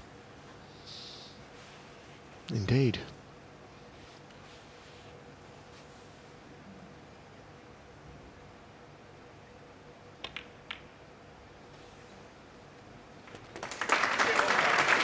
Fifty-eight.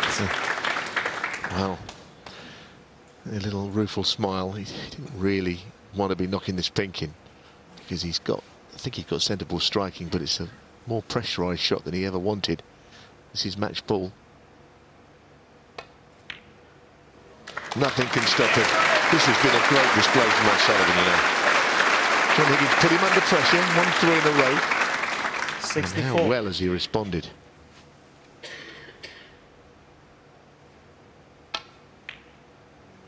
Sixty-five.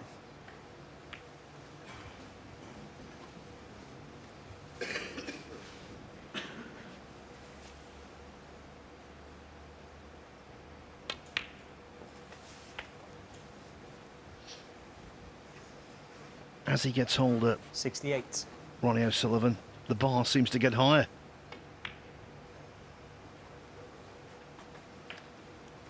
Sixty-nine.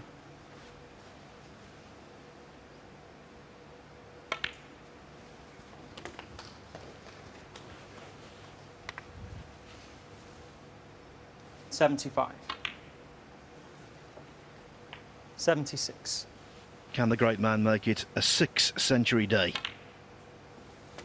And bear in mind, both of his opponents have been world 83. champions. 84. I think John can have no complaints. I don't think he's played all that badly. He's been on the wrong end of sheer weight of scoring. 87. 89.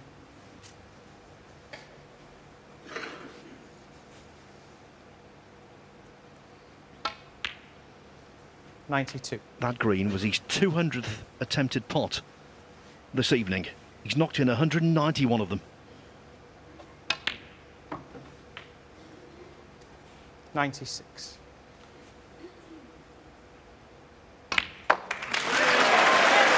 Wonderful. Absolutely wonderful from Ronnie O'Sullivan.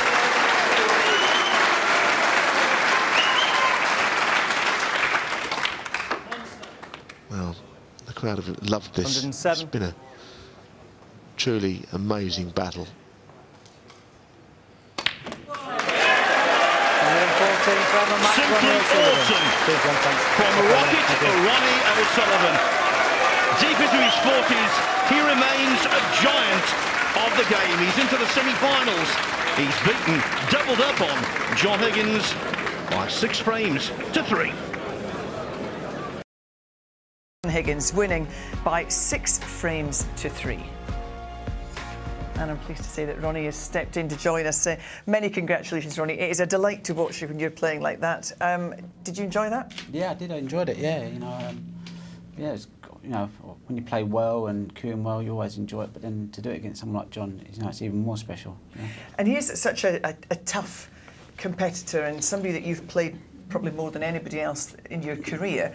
Does that change the way you, you go into this game? Do you, are you more focused, more No, I think, I think you have to be like like standards high, especially in this tournament. So every match you've got to be on it, you know. But John, you know, he's he's you know him and Stephen the two greatest players ever that I've ever played. So you know I, I bow to them too. Everybody else, then I'll, um, they can stay below me if you know what I mean. But you know he really is like a different league. You know what I mean. So to do it against John is always a, a special achievement. And no matter how he's playing, you know, you can't write him off. And you got into that great lead, a couple of frames, mm. and it, it, looked ominous yeah. for John. And I'm sure in his mind he was thinking back to last year when you, you beat him 6 0, but obviously he got back into the match. What were you thinking at that, that mid session interval? No, just keep playing. You know, I've played John so many times, you know, that like sometimes you can just sit in your chair for five, six frames and not see a ball. So, you know, I, I kind of prepared myself for that. And I thought, well, if I do get a chance, then you know you're going to have to score, put them under some pressure, you know, because whoever we're all human, and you know, you put a bit of pressure on anybody, you know, they they, they they've got more chance of missing. So that's all I kept thinking, really. The first match today, obviously, the first frame against Bentley, you yeah. looked a bit scrappy. You must have blew in the middle going to the pack by yeah. about that far. Oh, and then to end the day like this, you made six centuries. Yeah. play. What did you just like decide to I be more I decided, or? yeah, I decided that um, you know because I've only played like two tournaments. You know, all the other guys have played ten, so I feel like I was a little bit like nervy coming in it, thinking you know, I might be off the pace. And then I started a bit negative, and I thought, uh, and I felt it, you know, I felt like he was more the aggressor. So I thought, oh, solid, just start going for a few mm. shots changed something in my technique, which kind of got me hitting the ball a little bit better, and you know I started to flow a bit. The, the, table's playing well, but maybe a, a touch easy, make you go for more pots. Yeah, or? yeah. I mean, like any table's tough if um, if you're cueing round corners, you know. But if you're cueing all right, it's an mm. easy table to score, and you know, soft cushions.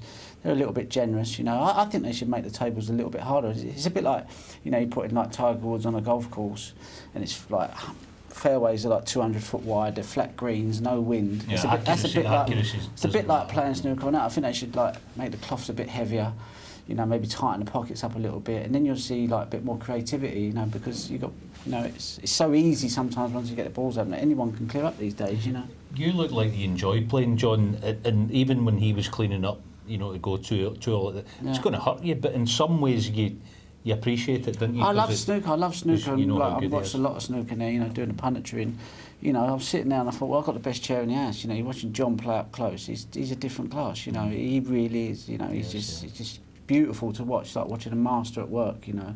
So um, you know, but you've got to try and put that out of your head as well. But it does inspire you to think, well, I've got to really you know, find some top form to win. You love it here in uh, Coventry. You've always had success here. You've, up the road, that's why. yeah, well, and you've never failed to reach the final. What is it about this tournament? Do you think? Uh, I don't know. I just think it's just a nice. You know, you just got a few players here. You know, you're quite quiet in. You know, when you're going around the venue. Three days, didn't you? First day, semi-final, yeah. and final. I mean, most tournaments are like a marathon. There, you know, 128 players. It's like a marathon, and I can't play too many marathons. So this, you can see the bit of the finish line before the tournament's even started, so you get a little bit excited. But makes a difference coming to a venue, Jill. I think when the the, the, the boys know they're coming in, they'll get a proper practice that you can schedule yeah, your, your yeah, day. Yeah, I mean, I like the one to eight draws now. I won't even enter the building until the like. If I get to the last sixteen, I'm just going to turn up like five minutes before my game play because it's just like it's absolute chaos there. Honestly, it's just mental, mate. Honestly, honestly, it's unbelievable. It can but be actually. At least when you come here, you feel yeah. like appreciated. You feel like a little bit like you know, it's it's nice. It's like you know, nice soft carpet, you know, all that sort of stuff. You know, I'm feels, sure you would appreciate nice. it everywhere you no, go, you, no, you feel motivated to play well, but when you go to like some of these other places, you just get there and you're like beat before you started, and you just think, God, it's so demotivating. But here, mm. you come here, you get excited, and if if you get excited, you tend to play all right, you know. I, I know what Ronnie means. Obviously, if you if you need a bit of inspiration to make you play, sometimes that you know I've found them as well. They had some of the venues when you go to like, you know, I don't want to denigrate leisure centres, but they don't really have that atmosphere. Do you walking past swimming pools oh, and, and all sorts of stuff, and awful. it doesn't really get, get you going and get you look forward to awful. playing. Honestly, it's so awful, you know. And just straight away you're like, oh, I've just got to like grin and bear it. And but day three or four, you get so used to it because it's that bad that you end up not caring anyway. So you just and it's not good really, you know. But like this tournament's great, good venue, and you get you know you get excited, you know. Mm. And we haven't seen you much this year, as you mentioned. You played a couple of tournaments, I know, I know, won one and got to the. I just can't bear it, honestly. Oh, the tournaments are that bad, honestly. I just can't bear it, and I thought I'm not going to put myself through it. Like if, any, if someone offered me last season again now, I'd say no, you can keep it because it was just like dashing from one place to another and I didn't enjoy it. You know, I got ground do you think John should do the same? Because John yeah. seems to play in a lot of tournaments, and he says yeah. he's fallen out of love with the game. Do you think he should I do the same? I fell out of love with the game, and I won five tournaments and seven finals last year. Now, I feel I'm, it would improve John to do And that. I'm loving the game now. And I, have said to John, you know, just don't don't get sucked into these ranking points and all that. Mm. You know You know, I think a tournament without me and John in it is a lot less anyway, so we should just forget about rankings, play.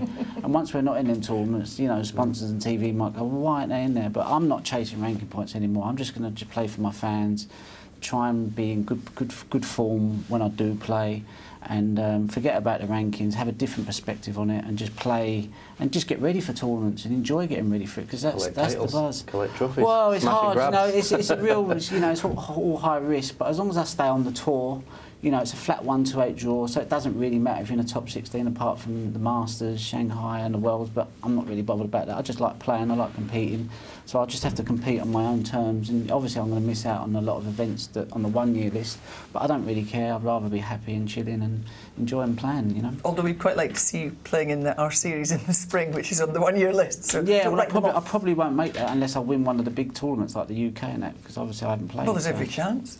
Yeah, play like that, if, you'll if, have if no I win it, bother. I've got a chance. But there's a lot, lot of very, very good players. You know, you are putting all your eggs in one basket. But I'm not. Listen, I'm not, I've, I've had to change my perspective and just think, well, what will be will be. As long as I get to play some tournaments, I'm happy. You know. Be interesting to see if John Higgins might share that view, thinking about his future. But listen, uh, after his uh, defeat to you tonight, we've got some words from John Higgins now. John, that was a, a cracking match to watch. Just the odd mistake here and there made the difference. Yeah, uh, uh, it was. It was. I'm a bit disappointed, but then I, I can't really be Ronnie. Ronnie just went up a level from uh, three two. I was three two in front. Uh, I can just remember. He potted a blue. I think that probably won him the game. I think it was three all. He took the blue into the green bag, screwed back, and I think he would have left the frame there. And when potting that blue, I think that he just went up a gear. He probably was seen seen the pockets like buckets then, and uh, he ran out. Now a deserved winner. Yep. He made six centuries today. He seems to be in tip-top form. Yeah, he's that's normally what he's like, Ronnie. Uh, yeah, I, I can't speak highly enough of him as a player. He's an unbelievable snooker player. Uh, and if you're just not on your game, and your safety as well has got to be so so tough, it's so tight against them as well. Uh, you're not going to win. You're a born winner, an all-time great. To be involved in that kind of occasion, did that get the competitive juices flowing again? Yeah, of course it does. Now and I was enjoying it. Uh, I, I, done a decent break to, to level at 2-0 and then I've went went front 3-2 and I, I, felt good. I felt good, but he, he, just he just shut me out. And as I said, had a couple of couple of loose shots. I, I shouldn't have played a double. I can remember one of the frames, but you, you just want to try and make something happen because because he, he's at the table all the time. You're, you're trying to push it maybe a little bit, and and you can't afford to do that. Finally, though, great positive these days. There's always another tournament around the Yeah. corner and plenty to play for before Christmas. Yeah, of course. Now we've got Northern Ireland, uh, we're at Belfast next week, and then you've got the UK Championship, obviously, and then the Scottish Open, which is a hometown event. So yeah, now I'll, I'll get the chin up and just try and get some hard, pra- hard practice in. I need it, and hopefully do well in the next few tournaments. Thanks, John. Great. Cheers, Phil. Thanks. Yeah, a lot of respect between you two players. It's great to hear that. And he made mention of it there. Six centuries. If it was any other player, we'd be, you know, falling off our chair, Six centuries in a day. This fella did seven, I think, one day. Uh, but 965 centuries. When's the big thousand coming? Another 35 more centuries. I don't know. Uh, probably not this season. Just going to get 999 and deliberately miss all the time. No, no, no, keep, keep you waiting. Yeah. Wait till you get to the crucible and do it later. Just keep twitching up deliberately. Yeah, good stuff. Well, listen, uh, you've got Shaun Murphy on Friday night, a rematch from last year's final. What are your thoughts on that one? Um, yeah, no, Shaun's a fantastic player. You know, he's had a bit of a, a ropey season by his own standards. You know, like, hasn't been able to get out of qualifiers and most of the tournaments. So, you know, he's due to sort of um, turn a corner. So, you know, play some good snooker yesterday. Tough match. You know, especially on this table, if he gets going, mate, he's going to be hard to stop. So I've got to play well. Okay, listen, thanks for joining us tonight. Well done on that win. After the break, we'll be pre